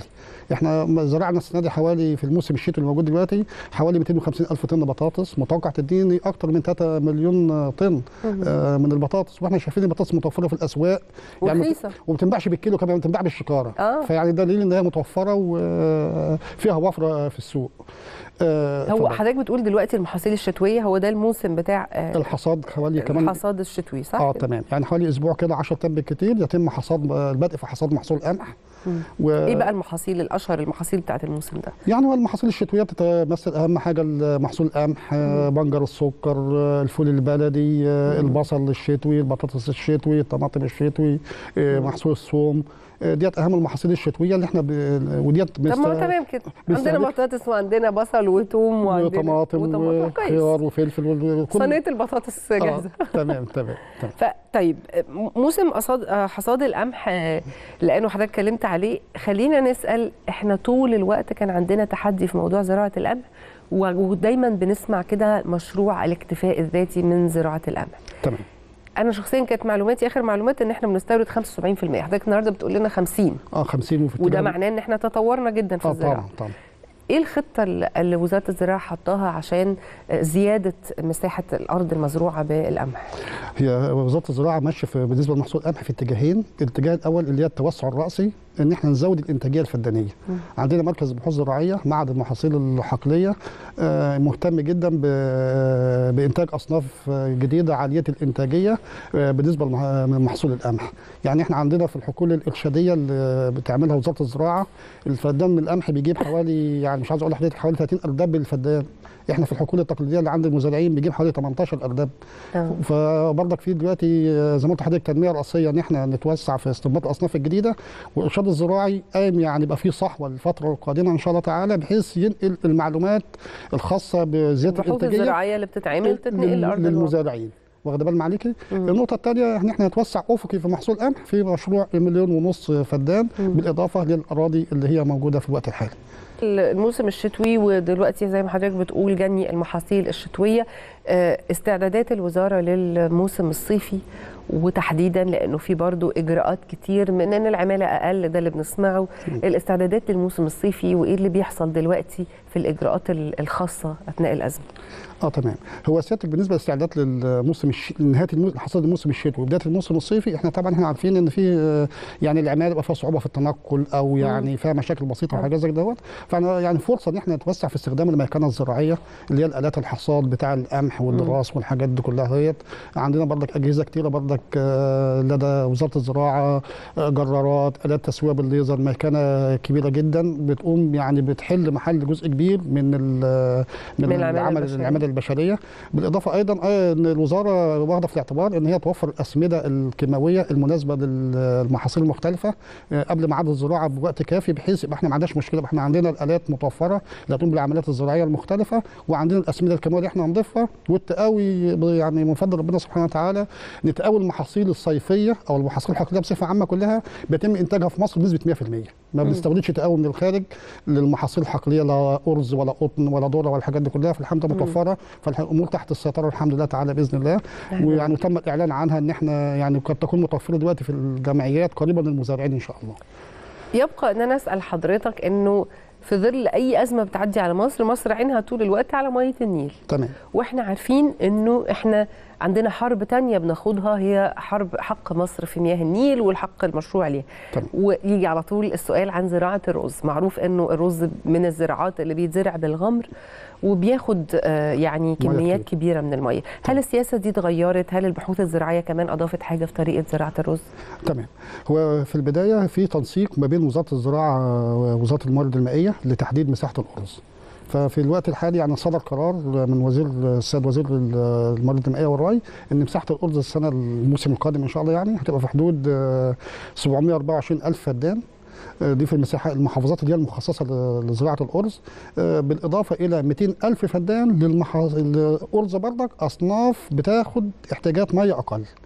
بالإضافة أيضا ل 150 ألف فدان هنزرعهم أرز برضك إن شاء الله بتعتمد على المياه اللي هي عاليه ال- الملوحة والأراضي دي فيها يعني بيبقى فيها مشاكل في الصرف وفي درجة الملوحة بتاعتها وكده. ده بالنسبة للمساحات اللي هي المحددة لزراعه الارز في هذا الموسم. بالنسبة بقى لدور وزارة الزراعة ومركز البحوث الزراعية تم استنباط أصناف جديدة بتاخد كميات أقل من المياه. وعلى سبيل المثال في صنف جديد يعني بيتم التوسع فيه في الوقت الحالي اسمه هجين واحد. ده بيعطي إنتاجية أكتر وبيقعد في الأرض مدة أقل وبياخد احتياجات مائية أقل. ده بالنسبة للتج... يعني, يعني حتى. الأر- حتى الرز فيه أصناف. آه في- طبعاً، في طرق مختلفة لزراعته. آه طبعا. لكن ال- الفكرة كانت بتقول لا نبطل نزرع رز لأنه دايما يبقى في حاجات آه، في تطرف في الأفكار كده. آه. نبطل نزرع رز وفي خطر حقيقي على المية تمام. ده مش مش قرار حكيم إنه يحصل. لا طبعا إحنا لازم يعني إحنا لازم نزرع مساحة معينة من الارز عشان عندنا محافظات زي اللي هي كفر الشيخ والشرقية والدقهلية والمحافظات دي كلها بيبقى فيها يعني قريبة من البحر فالمياه المالحة بتخش عليها فلازم يبقى فيه زراعة ارز عشان يعمل غسيل لهذه الأراضي ويتم زراعتها بعد كده مستقبلا في المحاصيل الشتوية وهكذا. إيه ده فعلا؟ أنا أول مرة أعرف المعلومة دي. آه طبعا ما حاجة هو لطيفة. يعني عشان كده الرز بيتزرع في الم... في الشمال يعني. آه في حزام معين كده سيادتك قلت عليه في الشمال فديت لازم نزرع مساحات معينة. هي المشكلة الناس كانت بتخالف وتتوسع. يعني زي ما قلت لسيادتك إحنا كل مساحة إحنا حددناها دلوقتي 724 1000 و200 1000 و150 ألف حوالي مليون 76 ألف. الناس كانت قبل كده بتخالف. بتزرع مساحات أكتر من هذه المساحات. فتم فرض غرامات آه، كبيرة عليهم ومخالف على المخالفين وحاجات زي كده. فبدأ يتم دلوقتي يعني تحجيب المساحة إلى المساحة المستهدفة اللي هي تعمل لنا اكتفاء ذاتي في مصر من الارز ومن نفس الناحية الثانية تحافظ على خصوبة الأراضي والجودة بتاعتها. بالظبط. أخيرا يبقى إن أنا أقول لحضرتك كل حكومة دلوقتي بقت حكومة إلكترونية ومتاحة خدماتها كلها الكترونيا. شكاوى المزارعين لو في حد مزارع عايز يوصل لقيادات وزارة الزراعة إيه طرق التواصل بين الوزارة وبين المواطنين أو المزارعين بشكل مباشر؟ آه تمام.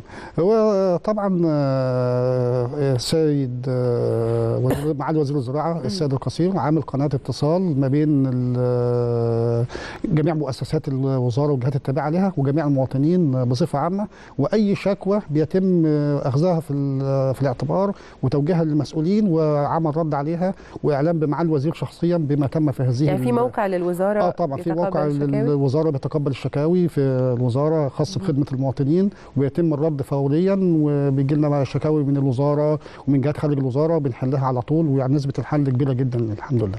أنا بشكرك شكرا جزيلا دكتور علي. دكتور علي عبد المحسن أستاذ الاقتصاد الزراعي وأستاذ وعميد معهد الاقتصاد الزراعي في وزارة الزراعة نورتنا. صباح الخير عليك. صباح الفل. شفت بسيادتك الله يخليك. شكرا. فاصل ونكمل مع حضراتكم. صباح الخير يا مصر.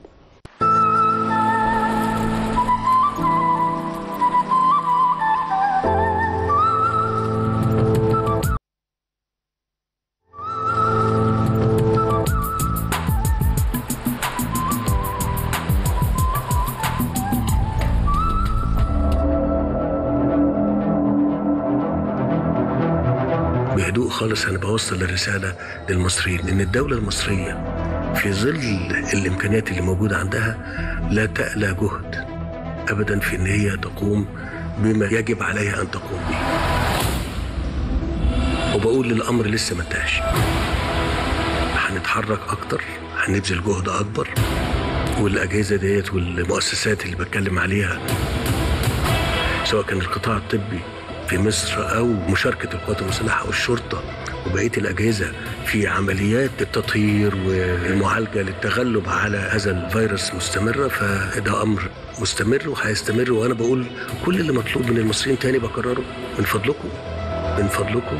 ساعدونا إن إحنا نعبر أخطر أزمة.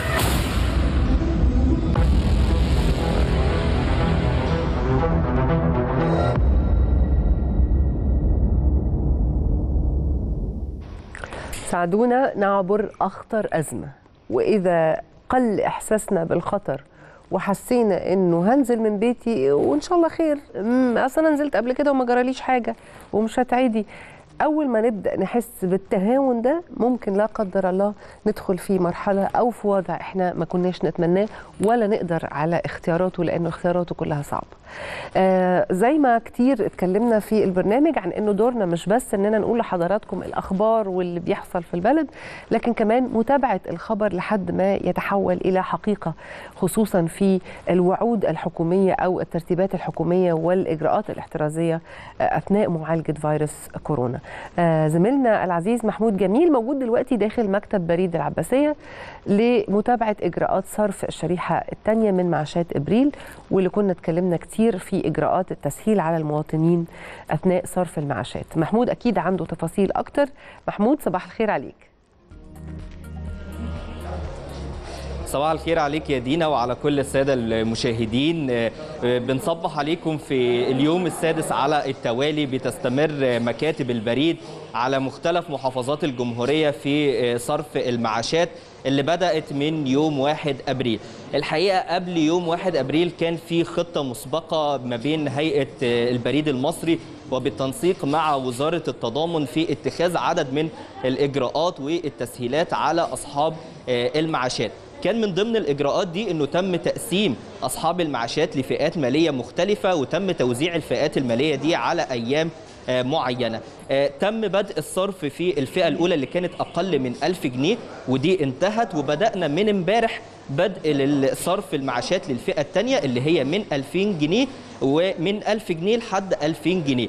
الفئة دي عددهم حوالي 2.5 مليون آه، مستحق للمعاش وفي إجراءات بتتم داخل مكاتب البريد. إحنا موجودين معاكم النهاردة من داخل مكتب بريد العباسية أول علشان نتعرف على سير العمل في اليوم السادس على التوالي لصرف المعاشات وأهم الإجراءات والتسهيلات اللي بتقدم لأصحاب المعاشات. خلونا نعرف تفاصيل أكتر من خلال ضيفنا اللي مشرفنا الأستاذ ميلاد عطله مدير مكتب آه، بريد العباسية. أول صباح الخير أستاذ ميلاد.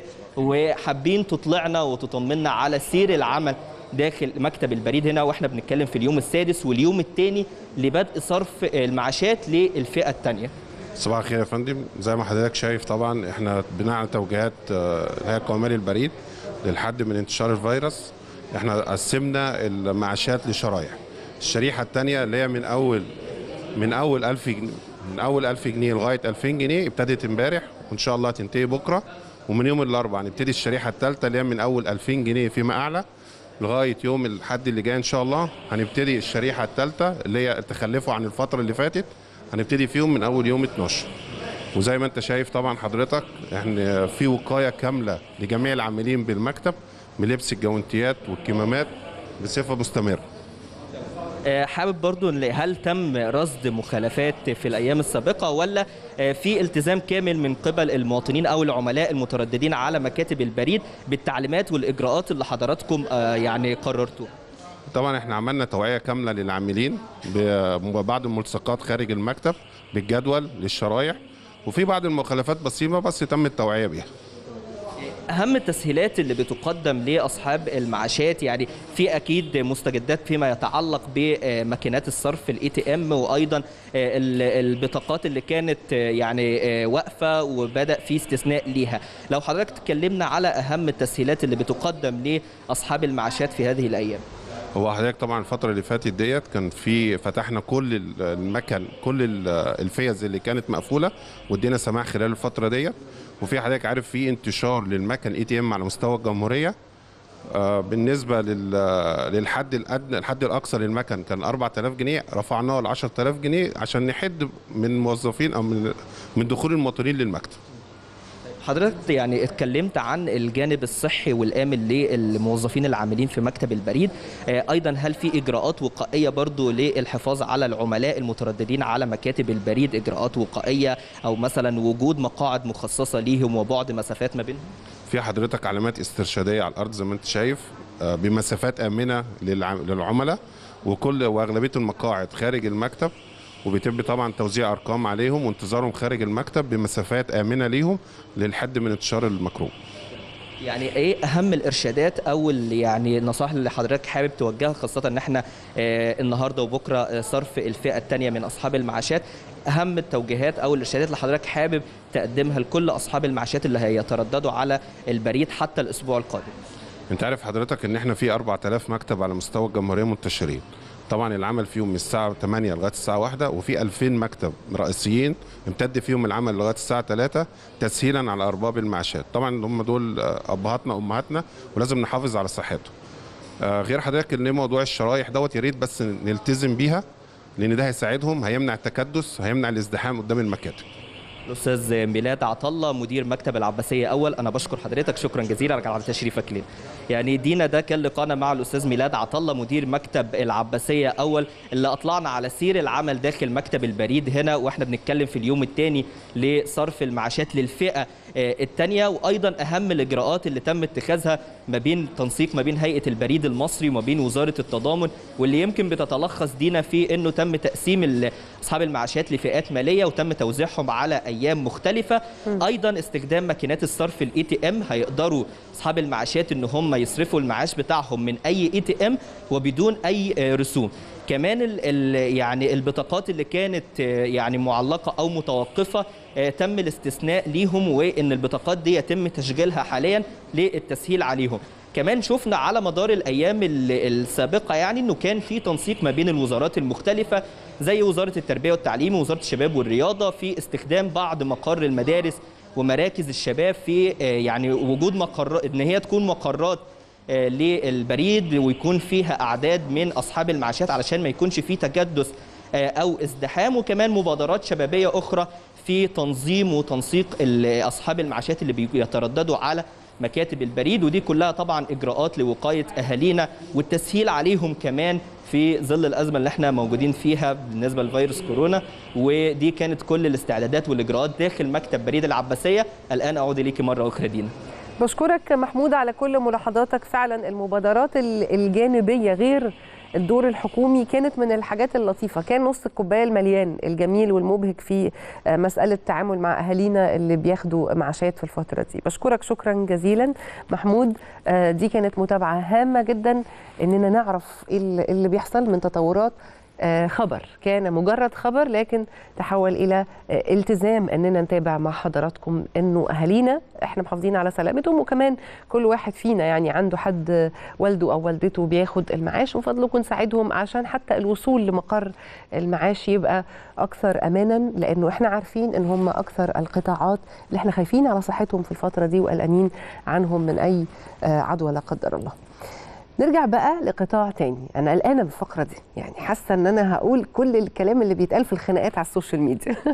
القطاع الصناعي هو من القطاعات اللي مشهور جدا إنها تأثرت بشكل كبير جدا بتداعيات انتشار فيروس كورونا. التأثر ده ما حصلش في مصر لكن بنسمع في الأخبار العالمية كلها. الدولة المصرية من بدري جدا التفتت للأزمة دي والرئيس عبد الفتاح السيسي أصدر قرارات اقتصادية كتير وكانت متتالية ومتتابعة. اللي من خلالها الدولة بتقول أنا بدعم القطاع وبدعم القطاع الصناعي وقطاعات تانية كتير لكن تحديدا القطاع الصناعي مهم أنه يستمر عشان يتجاوز المرحلة دي وسير العمل والإنتاج يكمل. وفي إجراءات حكومية كتير حصلت عشان حماية العمالة. الدور من الجهتين حماية العمالة من الأضرار الصحية من خلال فرض إجراءات احترازية ووقائية كتير كشرط من آه، شروط استمرار العمل في المصانع والشركات ومواقع المشروعات القومية التابعة للدولة. وكمان عندنا أسئلة عن دعم القطاع الصناعي ومرحلة ما بعد الكورونا. شايفين أسئلة كتير؟ أنا أنا خايفة بأسباب كتير يعني. آه عشان كده منورنا دكتور كمال دسوقي نائب رئيس غرفة مواد البناء باتحاد الصناعات المصرية. آه مشرفنا وصباح الخير عليك. صباح الخير يا فندم وصباح الخير على الشعب المصري. وإن شاء الله إن شاء الله نتجاوز الأزمة والقطاع الصناعي والشعب المصري والحكومة المصرية والدولة المصرية تعبر هذه الأزمة بنجاح إن شاء الله. أنا يعني سعيدة جدا بأنه حضرتك متفائل جدا حتى من قبل ما نبتدي الفقرة دكتور كمال مدينا جرعة تفاؤل. ينفع أقول كده إن أنا خدت جرعة تفاؤل؟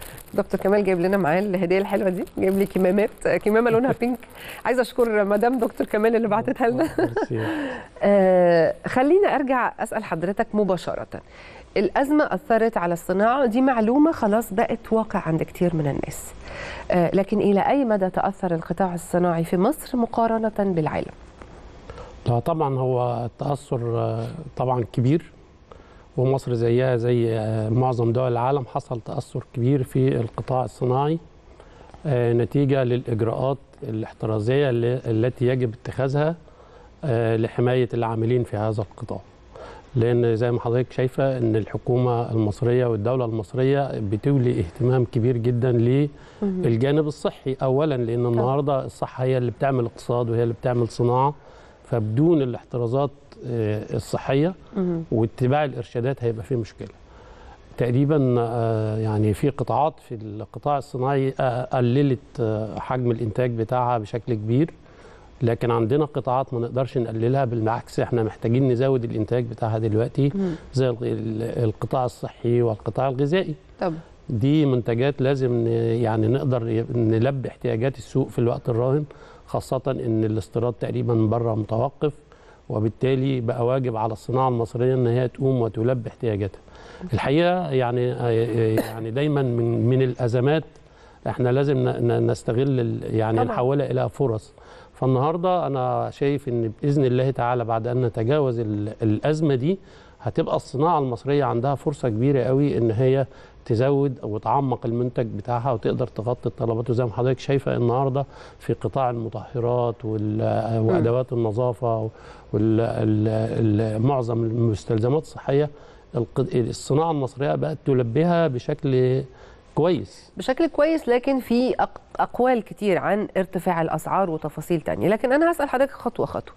دلوقتي الصناعة هي أجزاء يعني وإحنا حتى في البداية قلنا هي المصنع والاقتصاد وتفاصيله اللي بالتأكيد لازم نحترمها. لكن في قطاع كبير اسمه العامل. وإحنا طول الوقت بنقول سلامتك أهم من أي حاجة دلوقتي. طبعا. فبعض الناس اللي بتشتغل في القطاع الصناعي حسوا نقدر نسميه بقدر من إنه طب إحنا ذنبنا إيه؟ طب أنا مش عايزة أنزل. طب أنا خليني في البيت. مش قادرة ألوم على حد لو خايف على نفسه. لكن إيه الدور اللي إحنا نقدر نوجه ونصحح بيه؟ القطاعات اللي لا يمكن الاستغناء عنها زي ما حضرتك قلت. وفي نفس الوقت إيه الإجراءات الاحترازية اللي حصلت لحماية العمال؟ لا هو طبعا في إجراءات كتيرة الحقيقة قامت بيها ال- الدولة وقام بها القطاع الصناعي.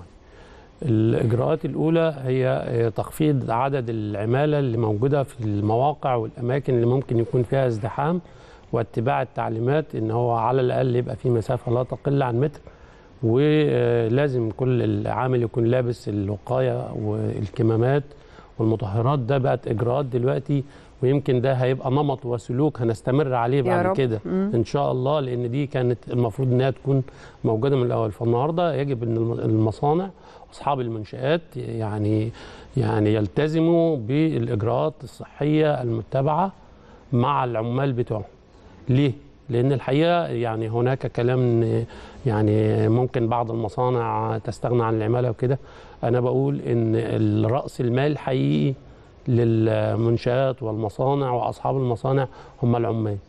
فالنهاردة لو ما حافظناش على الصحة بتاعتهم واتبعنا التعليمات هتبقى في مشكلة بالنسبة لهم الاستثمار في في في في ال الاستثمار في العامل البشري أهم بكتير جدا من الاستثمار في في الآلات والمعدات. بالتأكيد. بدون العمال بدون العمالة ما نهتم بيها هيبقى هناك مشكلة وإحنا بنعمل عمليات توجيه مستمرة للناس آه، والمصانع وأصحاب المصانع والناس اللي موجودة في المنشآت علشان يتابعوا الحكاية دي. فلازم من تخفيض عدد العمالة ولازم من اتباع الإجراءات الوقائية دلوقتي.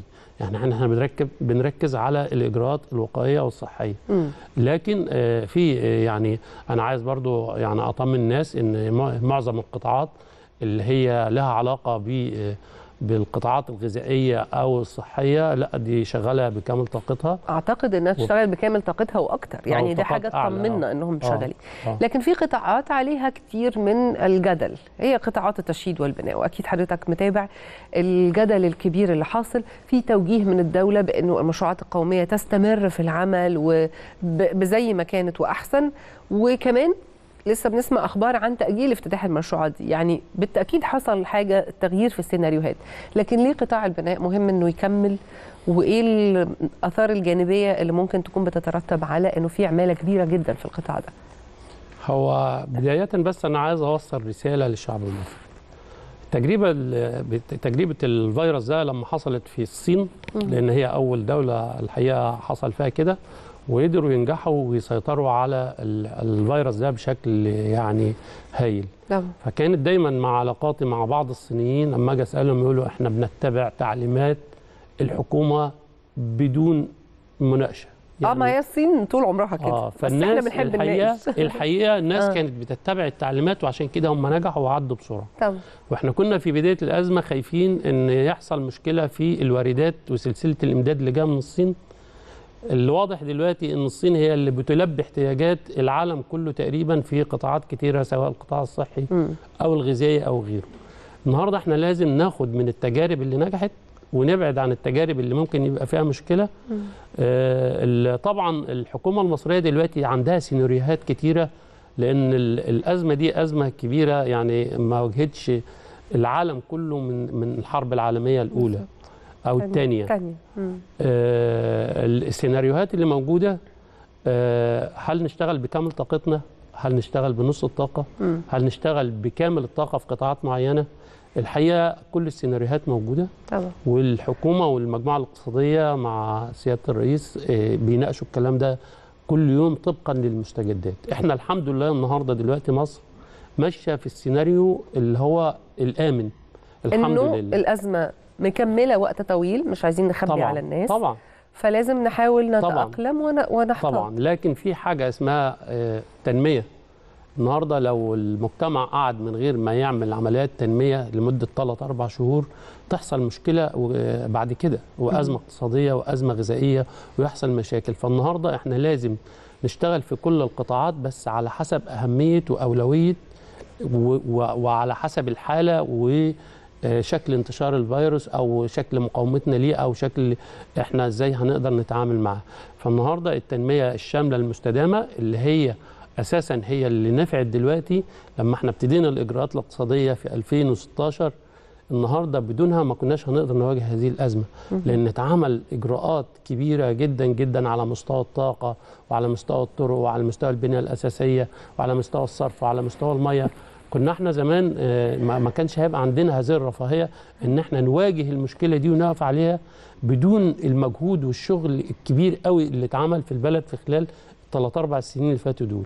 إحنا النهارده في أزمة ففي وجود الأزمة دي لازم إن إحنا نكمل وتفضل ماشية ال- ال- العجلة الاقتصادية ومعدلات الدوران تبقى ماشية. آه هتبقى في معدلات أقل من الطبيعي لأن زي ما حضرتك عارفة الاقتصاد ازدهار واستمرار وانكماش. بالظبط. ففي حالات ال ال الأزمات الكبرى زي اللي زي دي إحنا لو قدرنا نستمر ده في حد ذاته نجاح. ده نجاح ده كبير نجاح. جدا إن إحنا نستمر عشان لما نعبر الأزمة إن شاء الله نقدر نرجع للمعدلات الطبيعية لأن إحنا كان معدلات النمو عندنا كانت يعني كانت عالية جدا. كانت عدت لخمسة وتسعة من عشرة كانت تعد يعني تفوقت على التوقعات اللي كانت مطلوبة.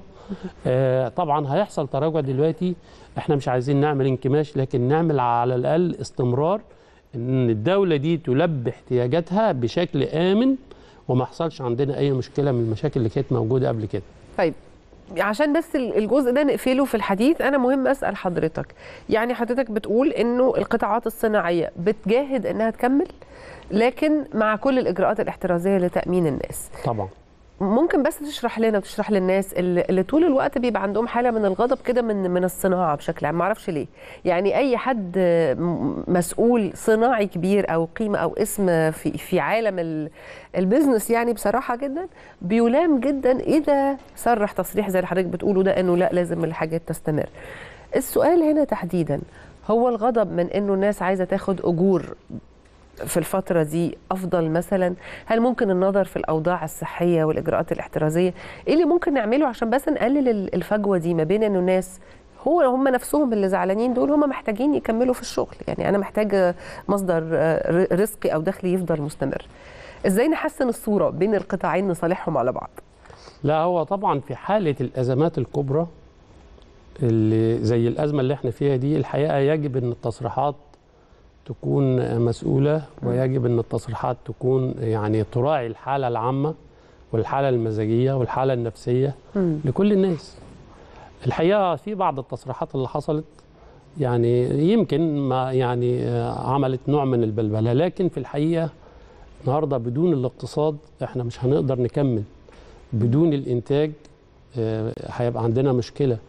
النهارده لازم الدولة المصرية دي الحمد لله أنا يعني بقيت أشوف حاجات بقيت أفتخر إن أنا مصري لما طبعا. المصريين راجعين رافعين ال- الباسبور بتاعهم آه. وبفتخر إن الباسبور ده مصري آه، ممكن أشوف إن إحنا بنساعد بعض الدول التانية النهارده ده وجود للدولة ووجود لدور الدولة فهذا الوجود مش هيجي غير بالإنتاج طبعا. ولازم الإنتاج ال- الإجمالي العام بتاع مصر أو القيمة السوقية للسلع والخدمات اللي إحنا بننتجها لازم تزيد علشان الدولة دي تقدر تثبت وجودها وترجع تاني لتاريخها وأمجادها لأن إحنا طول عمرنا دولة منتجة ودولة لها دور محوري. إحنا مصر دولة كبيرة.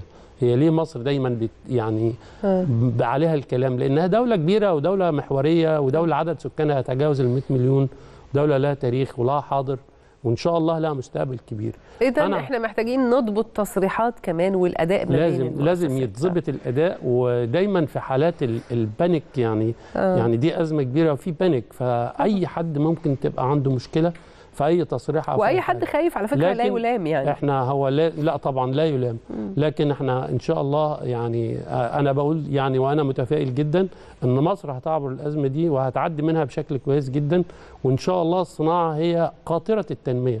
بدون صناعة وبدون إنتاج هيبقى عندنا مشكلة. لا إحنا لازم إن شاء الله نستمر في الصناعة نتبع الإجراءات الصحية ونتبع النظم ونتبع كمان اللي الدولة بتقوله وما نناقشوش كتير. لازم نمشي مع الإدارة لأن النهارده دي مجموعة وزارية فيها مجموعه كبيرة من الوزراء ما بتتخذش أي قرارات عشوائية أو حاجة بالعكس. أنا بكرر شكري لحضرتك. يعني حضرتك قدمت كتير من الرسائل المهمة جدا بكل هدوء وطريقة آه، يعني آه، أقنعتنا كتير من ال... في كتير من التساؤلات. بشكرك. شكرا جزيلا دكتور كمال دسوقي نائب رئيس غرفة مواد البناء باتحاد الصناعات المصرية. كل التوفيق لكل عامل مصري ولكل آه، صانع ويعني ولكل صناعة مصرية. بشكرك. كرر شكري ليك. صباح الخير على كل المصريين. خلينا نروح آه، من الصناعة لمبادرة آه، مصرية لتعليم الحرف اليدوية ومساعدة آه، الأشخاص أو الشباب أنهم يقدروا يعملوا مشاريع صغيرة بتكلفة قليلة.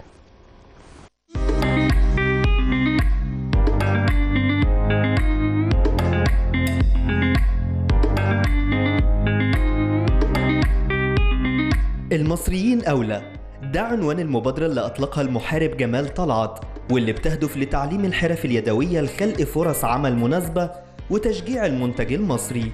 المبادرة بدأت بتعلم السيدات لحرفة صناعة الشنط والأحذية حتى تستطيع كل سيدة أنها تصنع المنتجات دي بنفسها. أول ما تقاعدت من الخدمة والقوات المسلحة آه، خدت على عاتقي إن أي منتج بيجي من دول شرق آسيا أو أي منتج بيجي من بره مصر أحوله إلى منتج مصري.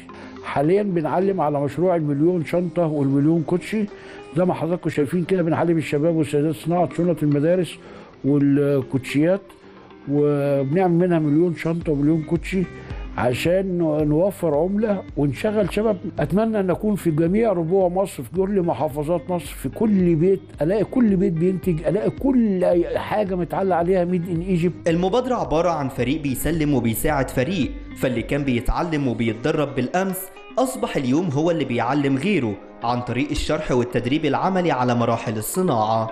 أنا بشتغل هنا تدريب كوتش وأنا اتعلمت أساسا التدريب أو إزاي إن أنا أعمل كوتش من خلال المبادرة. الكوتش ده أنا ببدأ أعمله من الأ- من الأول خالص من مجرد خامات بحولها لكوتش بشتغله بكل التفاصيل بعلمها للمتدربين لغاية ما يطلعوا حاجة يلبسوها.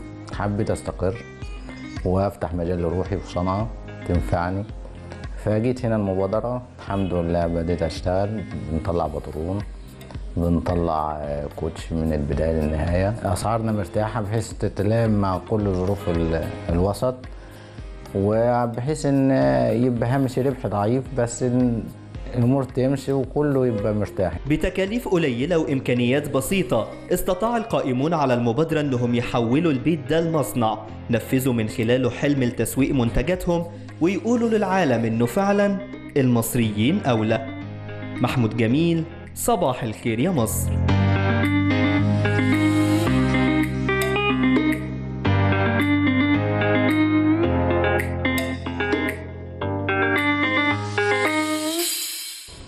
متهيألي كل المواهب اليدوية بتبان جدا في وقت الجلوس أو الساعات الطويلة اللي إحنا قاعدينها في البيت فكل مواهبنا كلنا طلعت. سيب حضراتكم دلوقتي مع موجز لأهم الأنباء مع إيمان. شكرا لك يا دينا. مشاهدينا التاسعة في القاهرة السابعة بتوقيت جرينتش موجز الأخبار من التلفزيون المصري.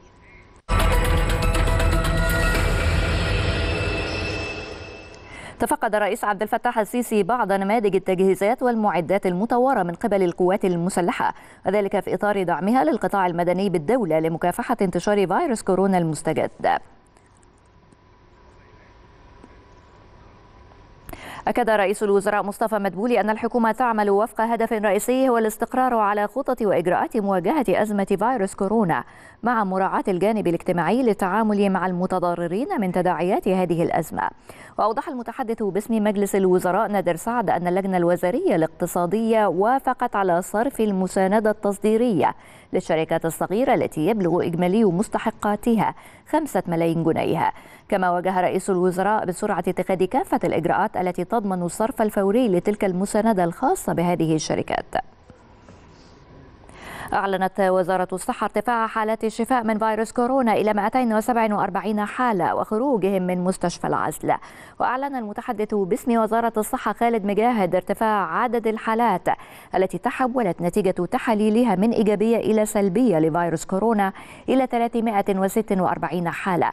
وتسجيل 103 حالات إيجابية جديدة وسبع حالات وفاة. ليصبح إجمالي الإصابات الذي تم تسجيله حتى اليوم 1173 حالة و78 حالة وفاة.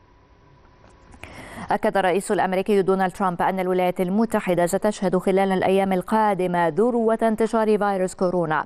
وأشار ترامب خلال المؤتمر الصحفي اليومي لخلية الأزمة بشأن مواجهة فيروس كورونا إلى أن الولايات المتحدة تعمل مع بعض الدول الصديقة لتجربة جدوى بعض اللقاحات في مواجهة الفيروس. وأوضح ترامب أنه تم إجراء فحص كورونا وتسلم نتائجه لمليون وسبعة وستين ألف أمريكي منوها إلى أنه سيتم خلال يومين نشر ثلاثة ألاف من الطواقم الطبية في نيوجيرسي ومناطق أخرى. إلى بريطانيا حيث أعلن مكتب رئيس الوزراء أن بوريس جونسون دخل المستشفى لإجراء فحوص بسبب استمرار ظهور أعراض فيروس كورونا عليه ذلك بعد عشرة أيام من تشخيص إصابته بالمرض. وفي خطاب نادر أكدت الملكة إليزابيث أن الشعب البريطاني سينتصر على فيروس كورونا إذا صمد في وجه إجراءات العزل العام معربة عن تضامن بلادها مع دول العالم في استخدام التقدم العلمي لمواجهة الفيروس. وأثنت الملكة على العاملين في مجال الرعاية الصحية لتفانيهم في العمل. أعلن معهد روبرت كوخ للأمراض المعدية ارتفاع عدد حالات الإصابة بفيروس كورونا في ألمانيا إلى 3677 حالة خلال الساعات الأربع والعشرين الماضية. وحسب ما أعلن المعهد فإن ذلك رابع تراجع على التوالي في المعدل اليومي للإصابات في حين ارتفع عدد حالات الوفاة إلى 1434 حالة. أعلنت الصين تسجيل 39 حالة إصابة جديدة مؤكدة بفيروس كورونا بينهم حالة واحدة وافدة من الخارج. وقالت لجنة الصحة الوطنية إنه تم التعرف على 78 حالة جديدة لم تظهر عليها أعراض فيروس كورونا كما تم تسجيل حالة وفاة واحدة أمس. قال المتحدث باسم الجيش الوطني الليبي اللواء أحمد المسماري إن القيادة العامة تتابع تطورات فيروس كورونا مشيرا إلى أن هناك أن هناك تعليمات بإنشاء مستشفيات عسكرية في كامل الأراضي الليبية. واوضح اللواء المسماري أن هناك ثلاث غرف عمليات لبسط سيطرة الدولة على كامل الأراضي الليبية. وأكد المسماري أن الجيش الوطني الليبي عازم على إنهاء الغزو التركي ووجود الميليشيات الإرهابية.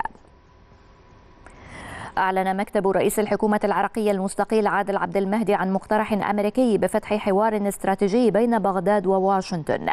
ويهدف المقترح وفقا لبيان صادر عن مكتب المهدي إلى تحقيق مصالح البلدين في ظل القرارات والمستجدات في العراق والمنطقة. وقد جاء المقترح الأمريكي خلال لقاء جمع عادل عبد المهدي بالسفير الأمريكي في بغداد ماتيو تولر الذي أكد لرئيس الحكومة العراقيه مقترح واشنطن لتحديد الوفد المفاوض. وموعد بدء المحادثات. وافق المدير الفني للمنتخب الإنجليزي جاريث تاوتجيت على تقليص راتبه بنسبة 30% كمساهمة منه في رفع الضغوط عن كاهل اتحاد كرة القدم في بلاده بفعل أزمة فيروس كورونا المستجد. جاءت هذه الخطوة من جانب تاوتجيت بعد توقف النشاط الكروي حول العالم. وعدم ارتباط المنتخب الإنجليزي بأي مباريات في المستقبل القريب. هذا وكان الاتحاد الأوروبي قد قرر أواخر الشهر الماضي تأجيل يورو 2020 إلى العام المقبل. كما تم إلغاء المباراتين الوديتين للمنتخب الإنجليزي أمام الدنمارك وإيطاليا. ختام موجزنا لأهم الأنباء. أعود من جديد إلى دينا وفقرات صباح الخير يا مصر اتفضل يا دينا. بشكرك يا إيمان. ويبقى إن أنا لازم أسألك إنه بعد الكثير من الأخبار عن الإلغاء مش بتفكري في إيه أول حاجة نفسك تعمليها بعد ما الحظر ينتهي وتبقى الحياة طبيعية؟ والله أول حاجة هنعملها إن إحنا كلنا هنخرج. أنا متوقعة إن إحنا هنلاقي الملايين بس موجودين في الشارع. يا رب الأزمة تنتهي على خير يا رب. يا رب يا رب. بشكرك يا إيمان. شكرا جزيلا. فاصل ونكمل مع حضراتكم. صباح الخير يا مصر.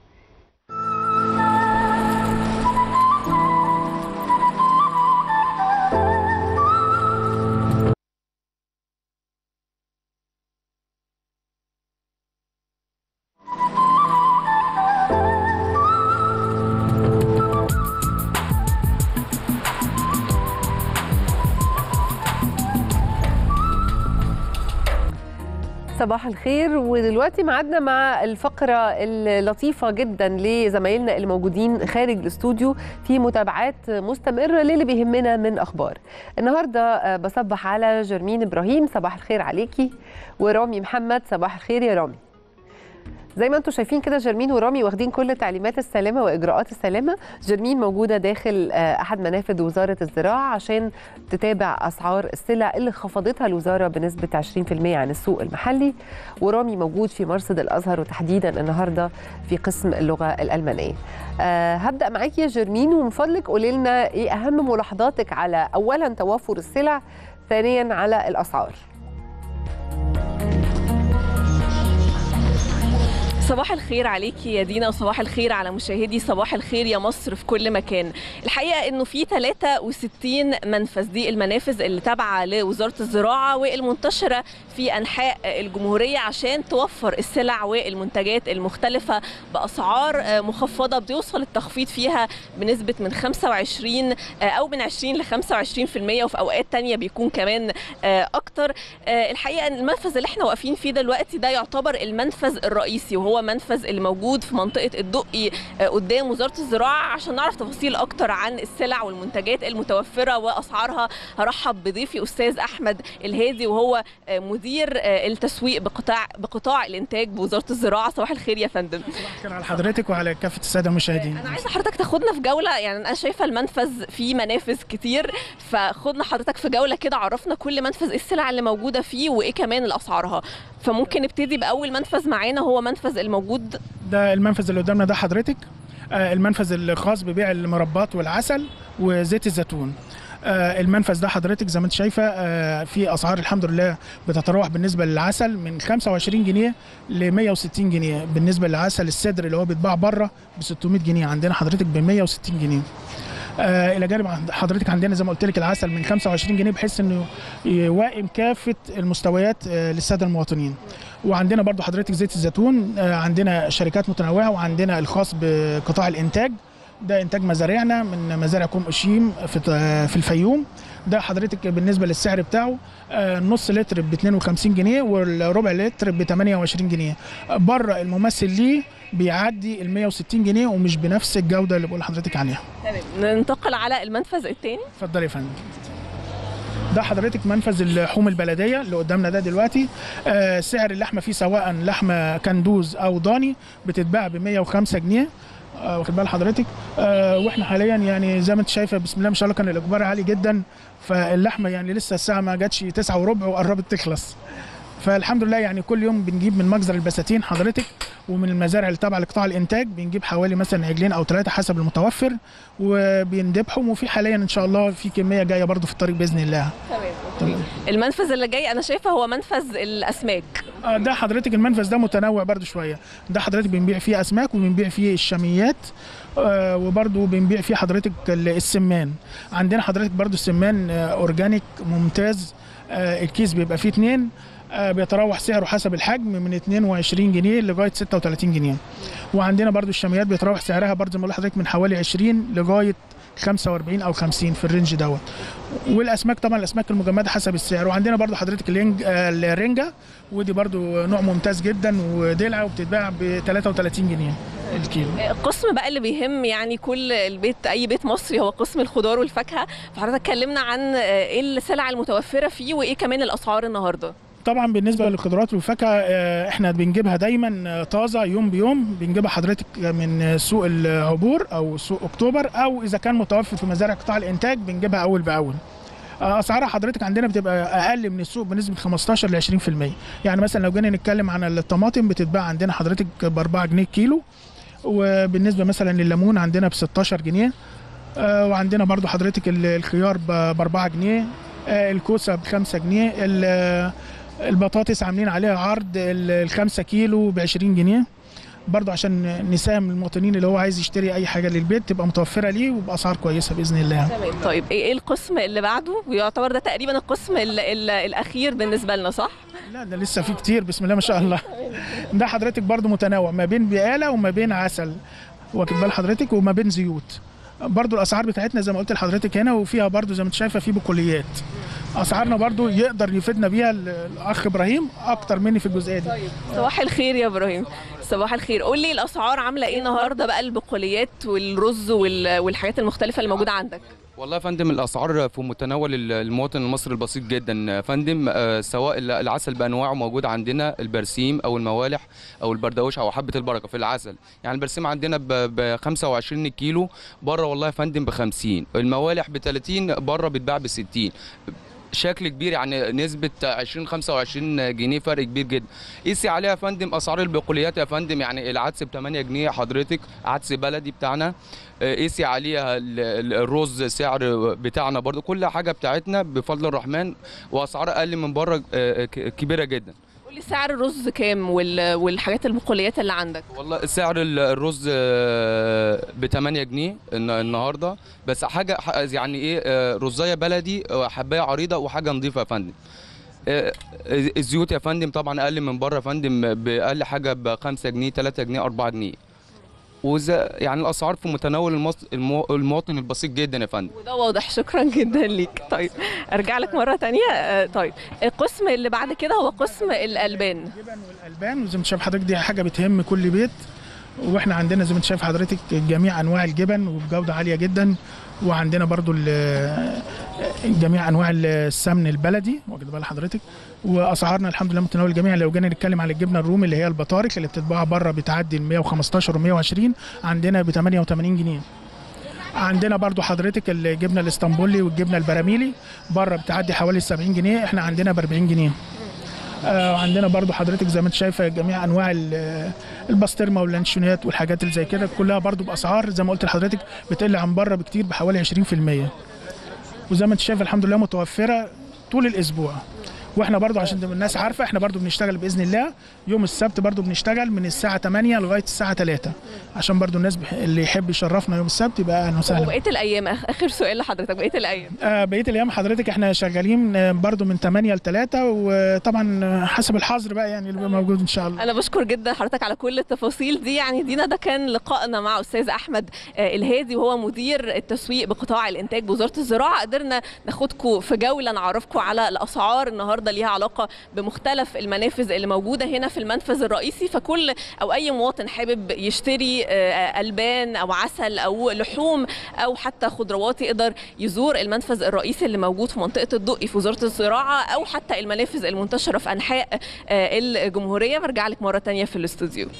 بشكرك جرمين تابعتينا بالأسعار وكمان بالمواعيد فيعني يبقى إنه كل حد من المتحمسين إنهم ياخدوا بضاعتهم من الأماكن اللي بتقدم الخصم ده. هو الجميل إنه مش بس البضاعة متوفرة لكن كمان إنه في خصومات على كتير من المنتجات. بشكرك شكرا جزيلا جرمين ومن جرمين نروح لرامي. رامي موجود في مرصد الأزهر.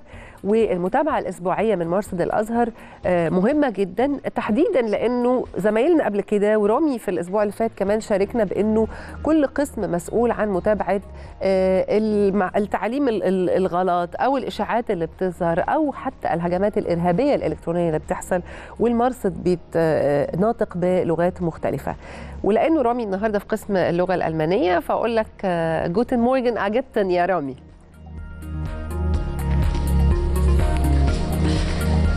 صباح الخير عليك. دينا صباح الخير في البداية. صباح الخير على كل ال- المصريين. آه، صباح السعادة والسلامة والصحة على كل المصريين وكل العالم في الظروف اللي بنعيشها. أنا موجود دلوقتي في مرصد الأزهر لمكافحة الفكر والأفكار المتطرفة. بنتكلم عن عين الأزهر الناظرة على العالم في وقت مهم جدا. في وقت حرج. كمان بنتكلم إن هو بيتابع كل ما يروج من أفكار متطرفة بلغات متعددة ب 12 لغة. النهارده هنكون متابعتنا من خلال وحدة اللغة الألمانية. ويمكن كمان هنقترب أكثر كمان من دور وحدة اللغة الألمانية وأبرز القضايا اللي تم الرد عليها ومناقشتها خلال الأسبوع من خلال لقائي بضيفي الكريم دكتور محمد العوضي المشرف على وحدة اللغة الألمانية. برحب بحضرتك وصباح الخير يا فندم. صباح الخير يا فندم. صباح الخير. دكتور محمد في البداية بنتكلم عن 5 مليون مسلم في ألمانيا 2000 مسجد. كمان الدور مهم جدا بتقوم بوحدة اللغة الألمانية للرد على أبرز الإشاعات والقضايا واستغلال فيروس كورونا للترويج لأفكار متطرفة. كلمنا عن الدور ده يا فندم. آه، في البداية بشكر حضرتك وبشكر برنامج صباح الخير يا مصر على زيارته الكريمة لمرصد الأزهر وإلقاء الضوء على القضايا اللي بيعالجها مرصد الأزهر في آه، شأن مكافحة التطرف. صباح الخير على كل السادة المشاهدين.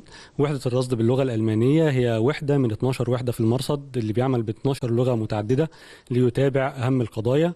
وإحنا كوحدة آه، كجزء من المرصد آه، بنتابع أيضا آه، شأن قضايا التطرف في ألمانيا. آه، لا يخفى على حضرتك إن ألمانيا زي ما قلت حالا فيها أكثر من 5 مليون مسلم آه، هناك حوالي أكثر من 2000 آه، مسجد. فبالتالي بنتابع آه، شؤون المسلمين وقضاياهم وقضايا التطرف الحالة الدينية للمسلمين هناك قضايا الاسلاموفوبيا وقضايا اليمين المتطرف وغيرها كمان من التيارات المتطرفة. في الفترة الأخيرة كما لا يخفى على حضرتك ولا على السادة المشاهدين إن فيروس كورونا كان هو المسيطر على عقول الجميع. فتابعنا أيضا هذا الأمر لنرى كيف أثر على الحالة الدينية للمسلمين وزي ما شاهدنا كان في حالة من الارتباك في بداية الأمر. آه، هل الناس تصلي في المساجد أم تصلي في بيوتها؟ آه، وكان في حالة من التردد كبيرة. في نفس الوقت صدرت فتوى من هيئة كبار العلماء تجيز آه، آه، ترك صلاة الجمعة والجماعة كإجراء احترازي ضد هذا الفيروس. آه، قمنا بترجمة هذه الفتوى ب 12 لغة ومنها طبعا اللغة الألمانية. وهناك كثير من المساجد والمراكز الإسلامية آه، نشرت هذه الفتوى على مراكزها. مما أحدث حالة من الهدوء عند آه، المسلمين. وتلقينا أيضا يعني خطابات شكر من هذه آه، الدول ومن دول كثيرة على آه، مثل هذا الأمر. نعم يمكن كمان من ضمن ال- الأسئلة المهمة هو ال- اللاجئين. ماذا عن اللاجئين وما روج آه، عليهم من إشاعات وأفكار متطرفة؟ دي حقيقة وده سؤال مهم جدا. للأسف الفترة اللي فاتت برضو عانى اللاجئين بسبب الفيروس. يعني هم أصلا بيعانوا بسبب برودة الجو في المخيمات وبسبب الأمراض. فالمرة دي زاد عليهم كمان آه، فيروس كورونا اللي آه، يعني أثر عليهم بشكل كبير واستغلت بعض الأحزاب آه، للأسف الرافضة الموضوع الهجرة إن هم يطالبوا بتوقف استقبال اللاجئين مع معاناتهم ودوت كمان أدى إلى أن الناس بدأت تعامل اللاجئين ببعض الشيء من العنصرية آه، حتى اللاجئين الموجودين منذ سنوات وليس لهم أي دخل بهذا الفيروس ومش ممكن ينقلوا الفيروس دوت. نعم آخر آه، شيء عايز أتكلم فيه مع حضرتك هو الحملة اللي تم إطلاقها آه، خذوا حذركم. كلمنا يا فندم عن الحملة وأبرز النقاط اللي موجودة فيها والمبادرة نفسها بتتكون من إيه؟ طبعا في متابعة الحالة الدينية للمسلمين ومشاهدة حالة الارت- الارتباك اللي أنا اتكلمت عنها من شوية كان مهم إن إحنا نطمن الناس خاصة إن الجماعات المتطرفة بدأت تستغل الحملة وتروج بعض إشاعات وتثير آه، الذعر حتى بهدف آه، خلق حالة من عدم الاستقرار في معظم الدول. فبالتالي إحنا لاحظنا هذا الأمر وكان هدفنا إن إحنا آه، نعمل حالة من الطمأنينة والتحذير. يعني مش عاوزين الناس تفرط في الخوف والذعر لأن ده بيؤثر على الحالة العامة للناس لكن كمان مش عاوزين الناس تتجاهل هذا الأمر. فده كانت أهداف الحملة إن الناس ما تتجاهلش ال- الفيروس أو الوباء وإن الناس ما تخافش منه بزيادة بل تلتزم بالإجراءات. الحملة استمرت لمدة خمس أيام كان عنوانها خذوا حذركم آه، تم ترجمتها آه، إلى اللغة الألمانية ولكل لغات المرصد وكانت بتبين إن الهدف الأساسي من الشريعة الإسلامية هو الحفاظ على حياة الناس وكمان كانت بتبين إزاي إن إحنا نستقي المعلومات من المصادر الصحيحة ونبعد عن المصادر المغلوطة لأن الإشاعات في هذا الوقت الخطير آه، لا تقل خطر عن أعمال الإرهابيين والمتطرفين وكمان كانت بتحث على الالتزام بتعليم النظافة العامة اللي قالتها منظمات الصحة العالمية وزاره الصحة في كل الدول. بشكرك دكتور محمد العوضي المشرف بوحدة اللغة الألمانية. بشكرك شكرا جزيلا فيما التواجد معنا فندم ربنا يحفظك ويحفظ مصر ويحفظ العالم كله من هذا الوباء. شكرا. يا فندم ويمكن دينا كمان من ضمن الأمور اللي ممكن كمان آه، نتابعها هو الفيديوهات اللي بتكون موجودة خلفي. ده حصاد لما يقوم به المرصد من جهود بلغات مختلفة وبيتم ترجمتها كمان وبثها في العديد من المواقع الخاصة بهذه اللغات والدول اللي موجود فيها اللغات دي. كمان هنقترب أكثر من وحدة اللغة الألمانية. بلقائنا مع دكتور آه، رجب الناغي المشرف والباحث بوحدة اللغة الألمانية. برحب بيك يا فندم وصباح الخير. أهلا بيك صباح النور حضرتك على كل المصريين. يمكن آه، هتكلم مع حضرتك عن آه، الجزء الخاص بالتطرف شوية في اللي بيتم من خلال اللغة الألمانية. كلمنا يا فندم عن مواجهتكم للأفكار المتطرفة الخاصة باللغة الألمانية وأبرز القضايا اللي تم مناقشتها والرد عليها الفترة الأخيرة. تمام بداية آه، دعني أتحدث معك عن إطلالة الجماعات المتطرفة عموما بشكل عام آه، بوجهها القبيح آه، آه، يبان أي أزمة بتحدث للعالم يعني مثلا آه، ساعة ما حصلت أزمة آه، سوريا والعراق داعش استغلت الوضع وعملت ما يسمى بدولة الخلافة وخلافه. قبل هذا كان هناك متحدث باسم آه، داعش كان اسمه محمد العدناني في 2014 وكان حالة ضعف ليهم. تحدث عن أن ال- المتعاطفين مع الجماعات المتطرفة مع داعش بالتحديد ممكن أن يساعدوا التنظيم في من خلال هجمات بما يحملون سكين أي أي شيء. بعديها ابو بكر البغدادي لما جه هو طبعا كان لسه قوي في الأول ما تبناش هذا الأمر ولكنه بعد كده بدأ آه، آه، في حالة الضعف وحالة انهزام ال- ما يسمى بالخلافة. آه، بدأ يقول للناس آه، امسكوا سكاكين اهجموا بأي شكل دون التواصل مع آه، التنظيم ودي كانت اسمها الذئاب المنفردة. آه، دعني اتحدث الآن أيضا عن استغلال الداعش. أي نعم نفس نفس هذا الوجه القبيح. استغلوا آه، داعش استغلت آه، فيروس كورونا وبدأت تقول للناس حتى من يحمل هذا الفيروس فليساعد على نشره حتى نقتل ما أسماهم بالكفار. وطبعا حضرتك عارف إن هم بيتبنوا يعني مساله التكفير يعني. فبدأوا هم يعني يقول للناس ادهس اقتل بسكين. والآن أنشر هذا الفيروس. طبعا دعني أيضا أتحدث عن عما فعلوه من جو دعني أقول هذا الأمر التضليل الإعلامي أو التضليل الإلكتروني أو الكذب الإلكتروني أو الافتراء, الإلكتروني أنهم الآن استغلوا استغلوا وجود الناس حاليا في البيوت كإجراء احتراز ضد هذا الوباء وبدأوا يعملوا بشكل شبه مستحيل إن إحنا نمسكه إن هم يستقطبوا كثير من الشباب لهم الآن. وبدأوا أيضا يقولوا لهم اهجموا واقتلوا بسكين وانشروا هذا الفيروس. وبدأوا ينشرون أيضا بين الناس أن هذا الفيروس جاء عقابا من الله سبحانه وتعالى للكفار وخلافه يعني. فطبعا إحنا زي ما تفضل أخي الدكتور محمد قمنا بحملات نحن ضد الشائعات ويعني نحاول نثبت الموقف المسلمين هناك يعني في هذا يا فندم الدور دائما المأمول من الأزهر ومن مرصد الأزهر اللي عين الأزهر الناظرة على العالم دكتور رجب النجي الباحث بوحدة اللغة الألمانية. بشكرك يا فندم على التواجد معنا شكرا جزيلا. تحت أمرك صباح الخير عليك وعلى كل المصريين وأتمنى إن شاء الله ربنا يزيح من عندنا هذه الأمة إن شاء الله رب العالمين. بشكرك يا فندم. اللهم آمين يا رب. يمكن دينا زي ما تابعنا هو ده الدور المأمول الخطوة الأولى الخطوة الاستباقية لأي أفكار افكار هدامة أي أفكار متطرفة إن إحنا ناخد الخطوة الأولى عشان نهدمها عشان نرد عليها قبل انتشارها. هي يمكن أنا لو هشبه إن الفيروس هو شبيه فعلا في فيروس العقول كمان. فإحنا عايزين سلامة الأبدان وسلامة العقول كمان. عوده ليك مرة أخرى في الاستوديو. أه بشكرك يا رامي. شكرا جزيلا. مش بس علشان المتابعة النهارده من أه القسم الخاص باللغة الألمانية لكن كمان لأنك أه وضحت لنا إنه مش بس مجرد متابعة للناطقين باللغة لكن كمان لمشكلات أصحاب اللغة دي واللي عايشين في البلاد دي تحديدا في مواجهة الأفكار المتطرفة. بشكرك. شكرا جزيلا. رامي دلوقتي هنروح لفاصل ونكمل مع حضراتكم. صباح الخير يا مصر.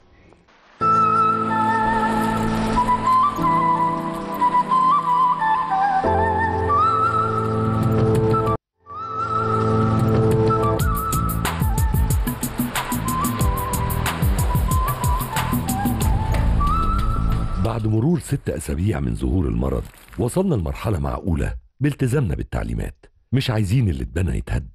الأسبوع السابع من أهم الأسابيع في انتشار الوباء وعلشان نمنع ده كل واحد يقوم بدوره. ودورك هنا إنك ما تنزلش من البيت وتحافظ على بلدك من انتشار الوباء خليك في البيت. بحب جدا الفكرة دي إنه كل دورنا المهم اللي قاعدين نشجع بعض عليه إن إحنا نفضل في البيت. فالدور سهل ولطيف لكن حقيقي مؤثر. آه خلونا نروح لدور كمان مؤثر هو الفنانين. الفنانين دلوقتي تقريبا بيحصل حالة من التنقية كده للفن والفنانين ومتابعيهم لأنه كتير من الفنانين عندهم مسؤولية عالية جدا تجاه رسالتهم في الفترة دي وفنانين تانيين بيطلعوا علينا أحيانا ببعض التصريحات اللي بتكون مستفزة لجمهورهم. لكن منا النهاردة أكيد محضر لنا باقة من أخبار الفن. اتفضلي يا منى. صباح الخير عليك يا دينا من جديد وبنجدد الصباح على كل مشاهدينا. بعدنا مع نشرتنا الفنية اللي هنعرف فيها أخبار جديد كتير عن مسلسل الاختيار للفنان أمير كرارة وإيه آخر أخبار الفنان عمرو يوسف وإيه اللي عملته نقابة التشكيليين عشان تساعد الفنانين المتضررين من فيروس كورونا وصحة أخبار تقديم النجم المصري رامي مالك لجزء خامس من مسلسل مستر روبرت. وأخيرا تفاصيل المبادرات اللي عملها النجم الهندي العالمي شاروخان علشان يقف جنب شعبه وحكومته في مواجهة الكورونا. يلا مع بعض نبتدي على طول أول أخبارنا ببدء عرض برومو مسلسل الاختيار للنجم أمير كرارة اللي ظهر فيه وهو بيعلم ابنه معاني الوفاء وحب الوطن. والبرومو سلط الضوء على سينا اللي حاول كتير يحتلوها لكن الجيش المصري قدر يتصدى لكل محاولات الاعتداء عليها وكلها فشلت.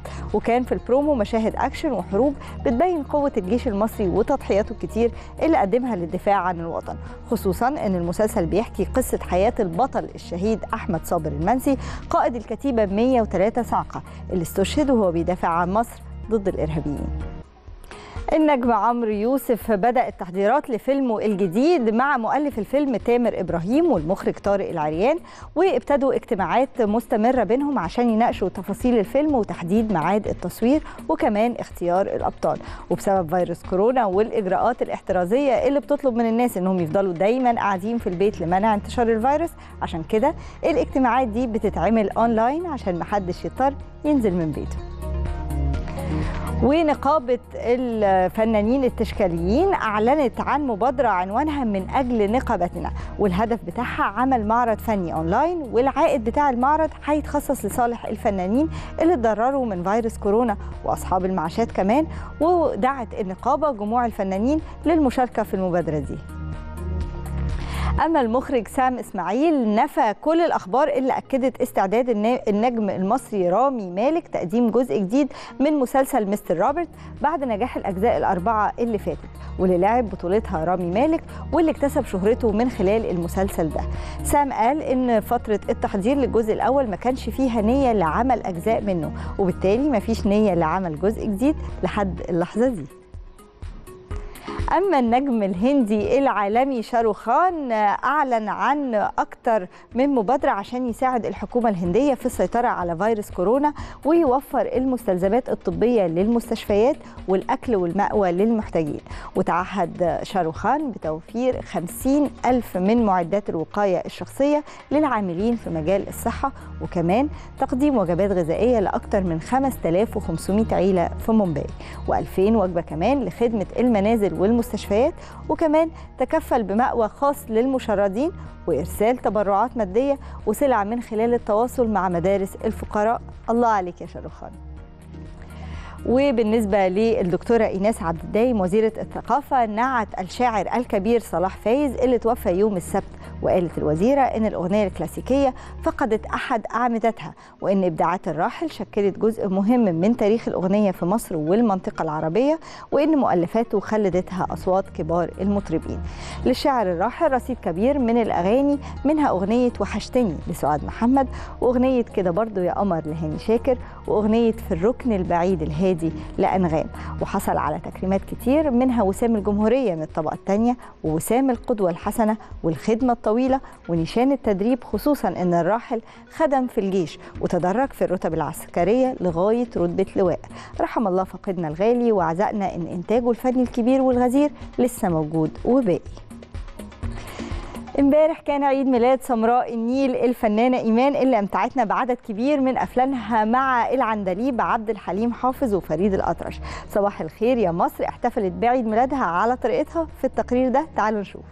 السينما المصرية وموهوبيها وفنانينها اللي ما بيخلصوش واللي دايما موهبتهم بتتجدد من خلال الأعمال اللي دايما بنشوفها. فقراتنا خلصت لكن فقرة الفن خلصت لكن فقراتنا في صباح الخير لسه مكملة. إليك دينا من جديد. شكرا ليك يا منى ودايما مبهج جدا الكلام عن الفن والفنانين بياخدنا بعيد من قسوة الأخبار عن كورونا. بشكرك يا منى شكرا ليك دينا آه مرة تانية بنرجع في صباح الخير يا مصر. وإحنا من, من بدري اتفقنا من بدري في الأزمة دي اتفقنا إنه المواجهة بقوة. يعني إحنا بنواجه المرض بنحتاط جدا وبنحترس جدا وبنفضل في البيت وبنحارب حقيقي. لكن ده ما يخليناش نفقد إحساسنا بالجمال واهتمامنا بالفن واهتمامنا بكل حاجة ممكن تبقينا آه في حالة نفسية كويسة لأنها جزء من آه قدرتنا على الصمود خاصة إذا كان بعضنا أصلا ابتدى يحس إن الوقت طول. خلونا نشوف حركة السياحة في مصر، إحنا عارفين إنها بالتأكيد من الحاجات اللي وقفت مش بس في مصر لكن في العالم كله بعد تفشي فيروس كورونا.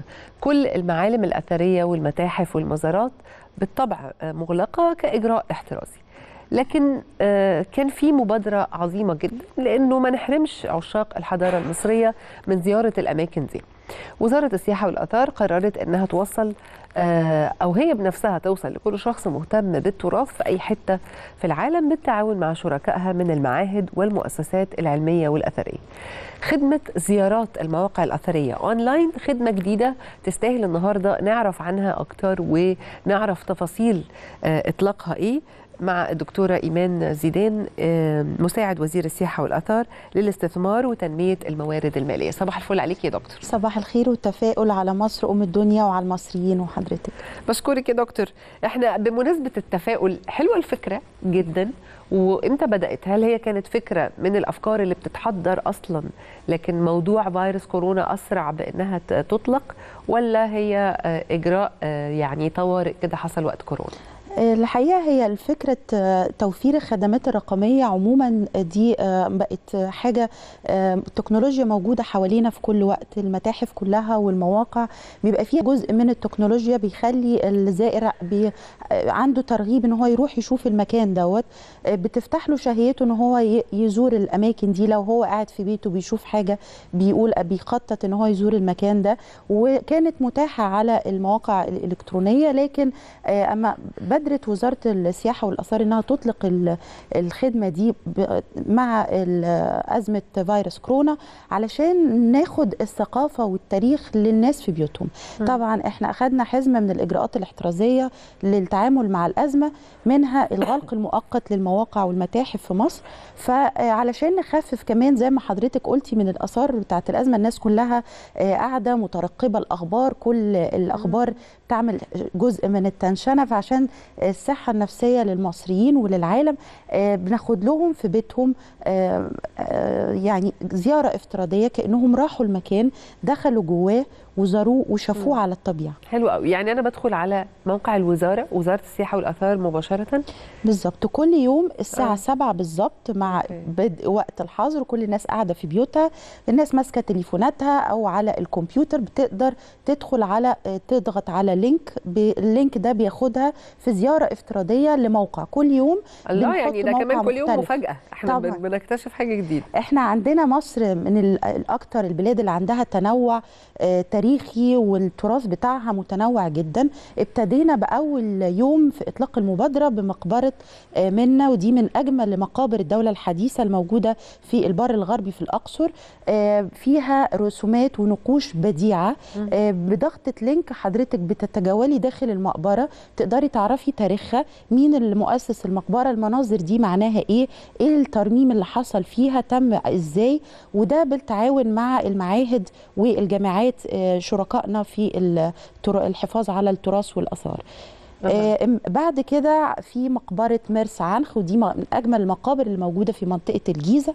امبارح آه كان في تنوع آه أطلقنا الدير الأحمر عشان آه. يبقى في تنوع تاريخي إن شاء الله النهارده هيبقى في إحنا شايفين دلوقتي على الشاشه يعني شكل الزيارة الافتراضية دي بالظبط ده آه. كده كأن حضرتك بتدخلي منطقة الهرم آه. وشوية شوية بتدخلي جوه المكان الديستنيشن اللي هتتجولي فيه كأن حضرتك ماشية بالظبط تقدري تشوفي الحياة كانت إزاي مين اللي أسس المقبرة دي إيه الرمزية إيه القصص من التاريخ المصري القديم.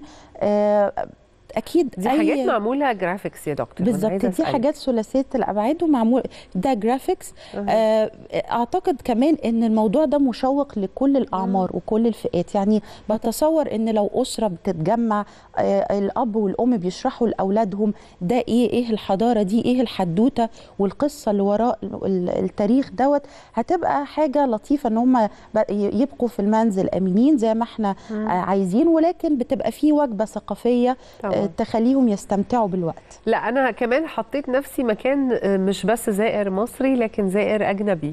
أنا لو شفت الافتراضي هتحمس إن أنا آجي أزور البلد دي في يوم من الأيام وأشوف الحاجات دي على أرض الواقع. بالظبط. وبالتالي بقى هسألك يعني كل الحاجات الجميلة دي مجانية؟ طبعا كل ده مجانا إحنا عايزين نروج للأماكن دي مم. في ناس كتير بتيجي تزور مصر بتروح للأماكن المعروفة مم. الهرم المتحف المصري بتروح للمقاصد السياحية أه. المعروفة لكن إحنا كمان قاصدين إن يبقى في تسليط ضوء على أماكن ممكن قد تكون غير معروفة علشان أي حد في بلده لما يجي مصر مرة تانية أو يجي لأول مرة يبقى عايز يروح يكتشف المكان ده أماكن جديدة وأكتر بالظبط بالتأكيد ده ما حصلش. يعني أنا كنت بسأل حضرتك هل ده كان إجراء يعني طوارئ اتعمل إنه نشوف الحاجات أونلاين؟ بس بالتأكيد ده بيتحضر له باقي الوقت. ده بيتحضر له. بس م. إحنا كمان كثفنا في الفترة الأخيرة إن إحنا نجمع حاجات كتير مش بس الجولات الافتراضية لكن كمان هيبقى عندنا زيارات من داخل المتاحف للتعريف بالمقتنيات المتحفية البديعة اللي موجودة في كل متحف. هيقدمها مرشدين سياحيين مصريين م. بلغات مختلفة علشان عشان برضو نقدر نوصل للناس زيارات واقعية بقى. واقعية. مم. ناخد الناس في جولة كأنهم برضو موجودين. إحنا عايزين للمصريين إن إحنا نعمل نشر للوعي الأثري ونعمل تأكيد للهوية عند المصريين الأجيال الصغيرة ومختلف الأعمار لكن كمان للأجانب إحنا عايزين نوصل رسالة من مصر للعالم كله إن مصر مستعدة تستقبلهم فور انتهاء الأزمة بكل ترحاب. بالتأكيد. أنا باللي إحنا شايفينه ده دي حاجة فيها معلومة وفيها تسلية وفيها ترويج سياحي عظيم. هعود بقى لل title بتاع حضرتك أو الشغلانة بتاعتك فكرة إنه بتكوني مسؤولة عن التسويق أو عفوا الاستثمار وتنمية الموارد المالية. في وزارة السياحة والأثار إحنا طول الوقت بنبقى حاطين عينينا أنه ده المصدر الأساسي للعملة الصعبة في مصر. خلينا نبقى أكثر تفاؤلا ونبقى بنسأل حضرتك عن الخطط طويلة المدى إنه بالتأكيد إحنا حتى جوه مصر بنقول أول حاجة هنعملها بعد الأزمة دي عايزين نسافر عايزين نشوف الحياة. يوما ما وقريبا إن شاء الله الحياة هتعود لطبيعتها. حضرتك شايفة إيه اللي ممكن يتغير في سلوك السائحين؟ هل ممكن يبقى في عندنا قطاعات جديدة من السياحة ما كانتش موجودة في مصر تحصل بعد انتهاء الأزمة؟ وزارة السياحة والآثار في خطة آه طويلة المدى للاهتمام بالمقاصد السياحية وتطوير السياحة لأن إحنا عايزين نعتمد أكتر على مفهوم الاستدامة.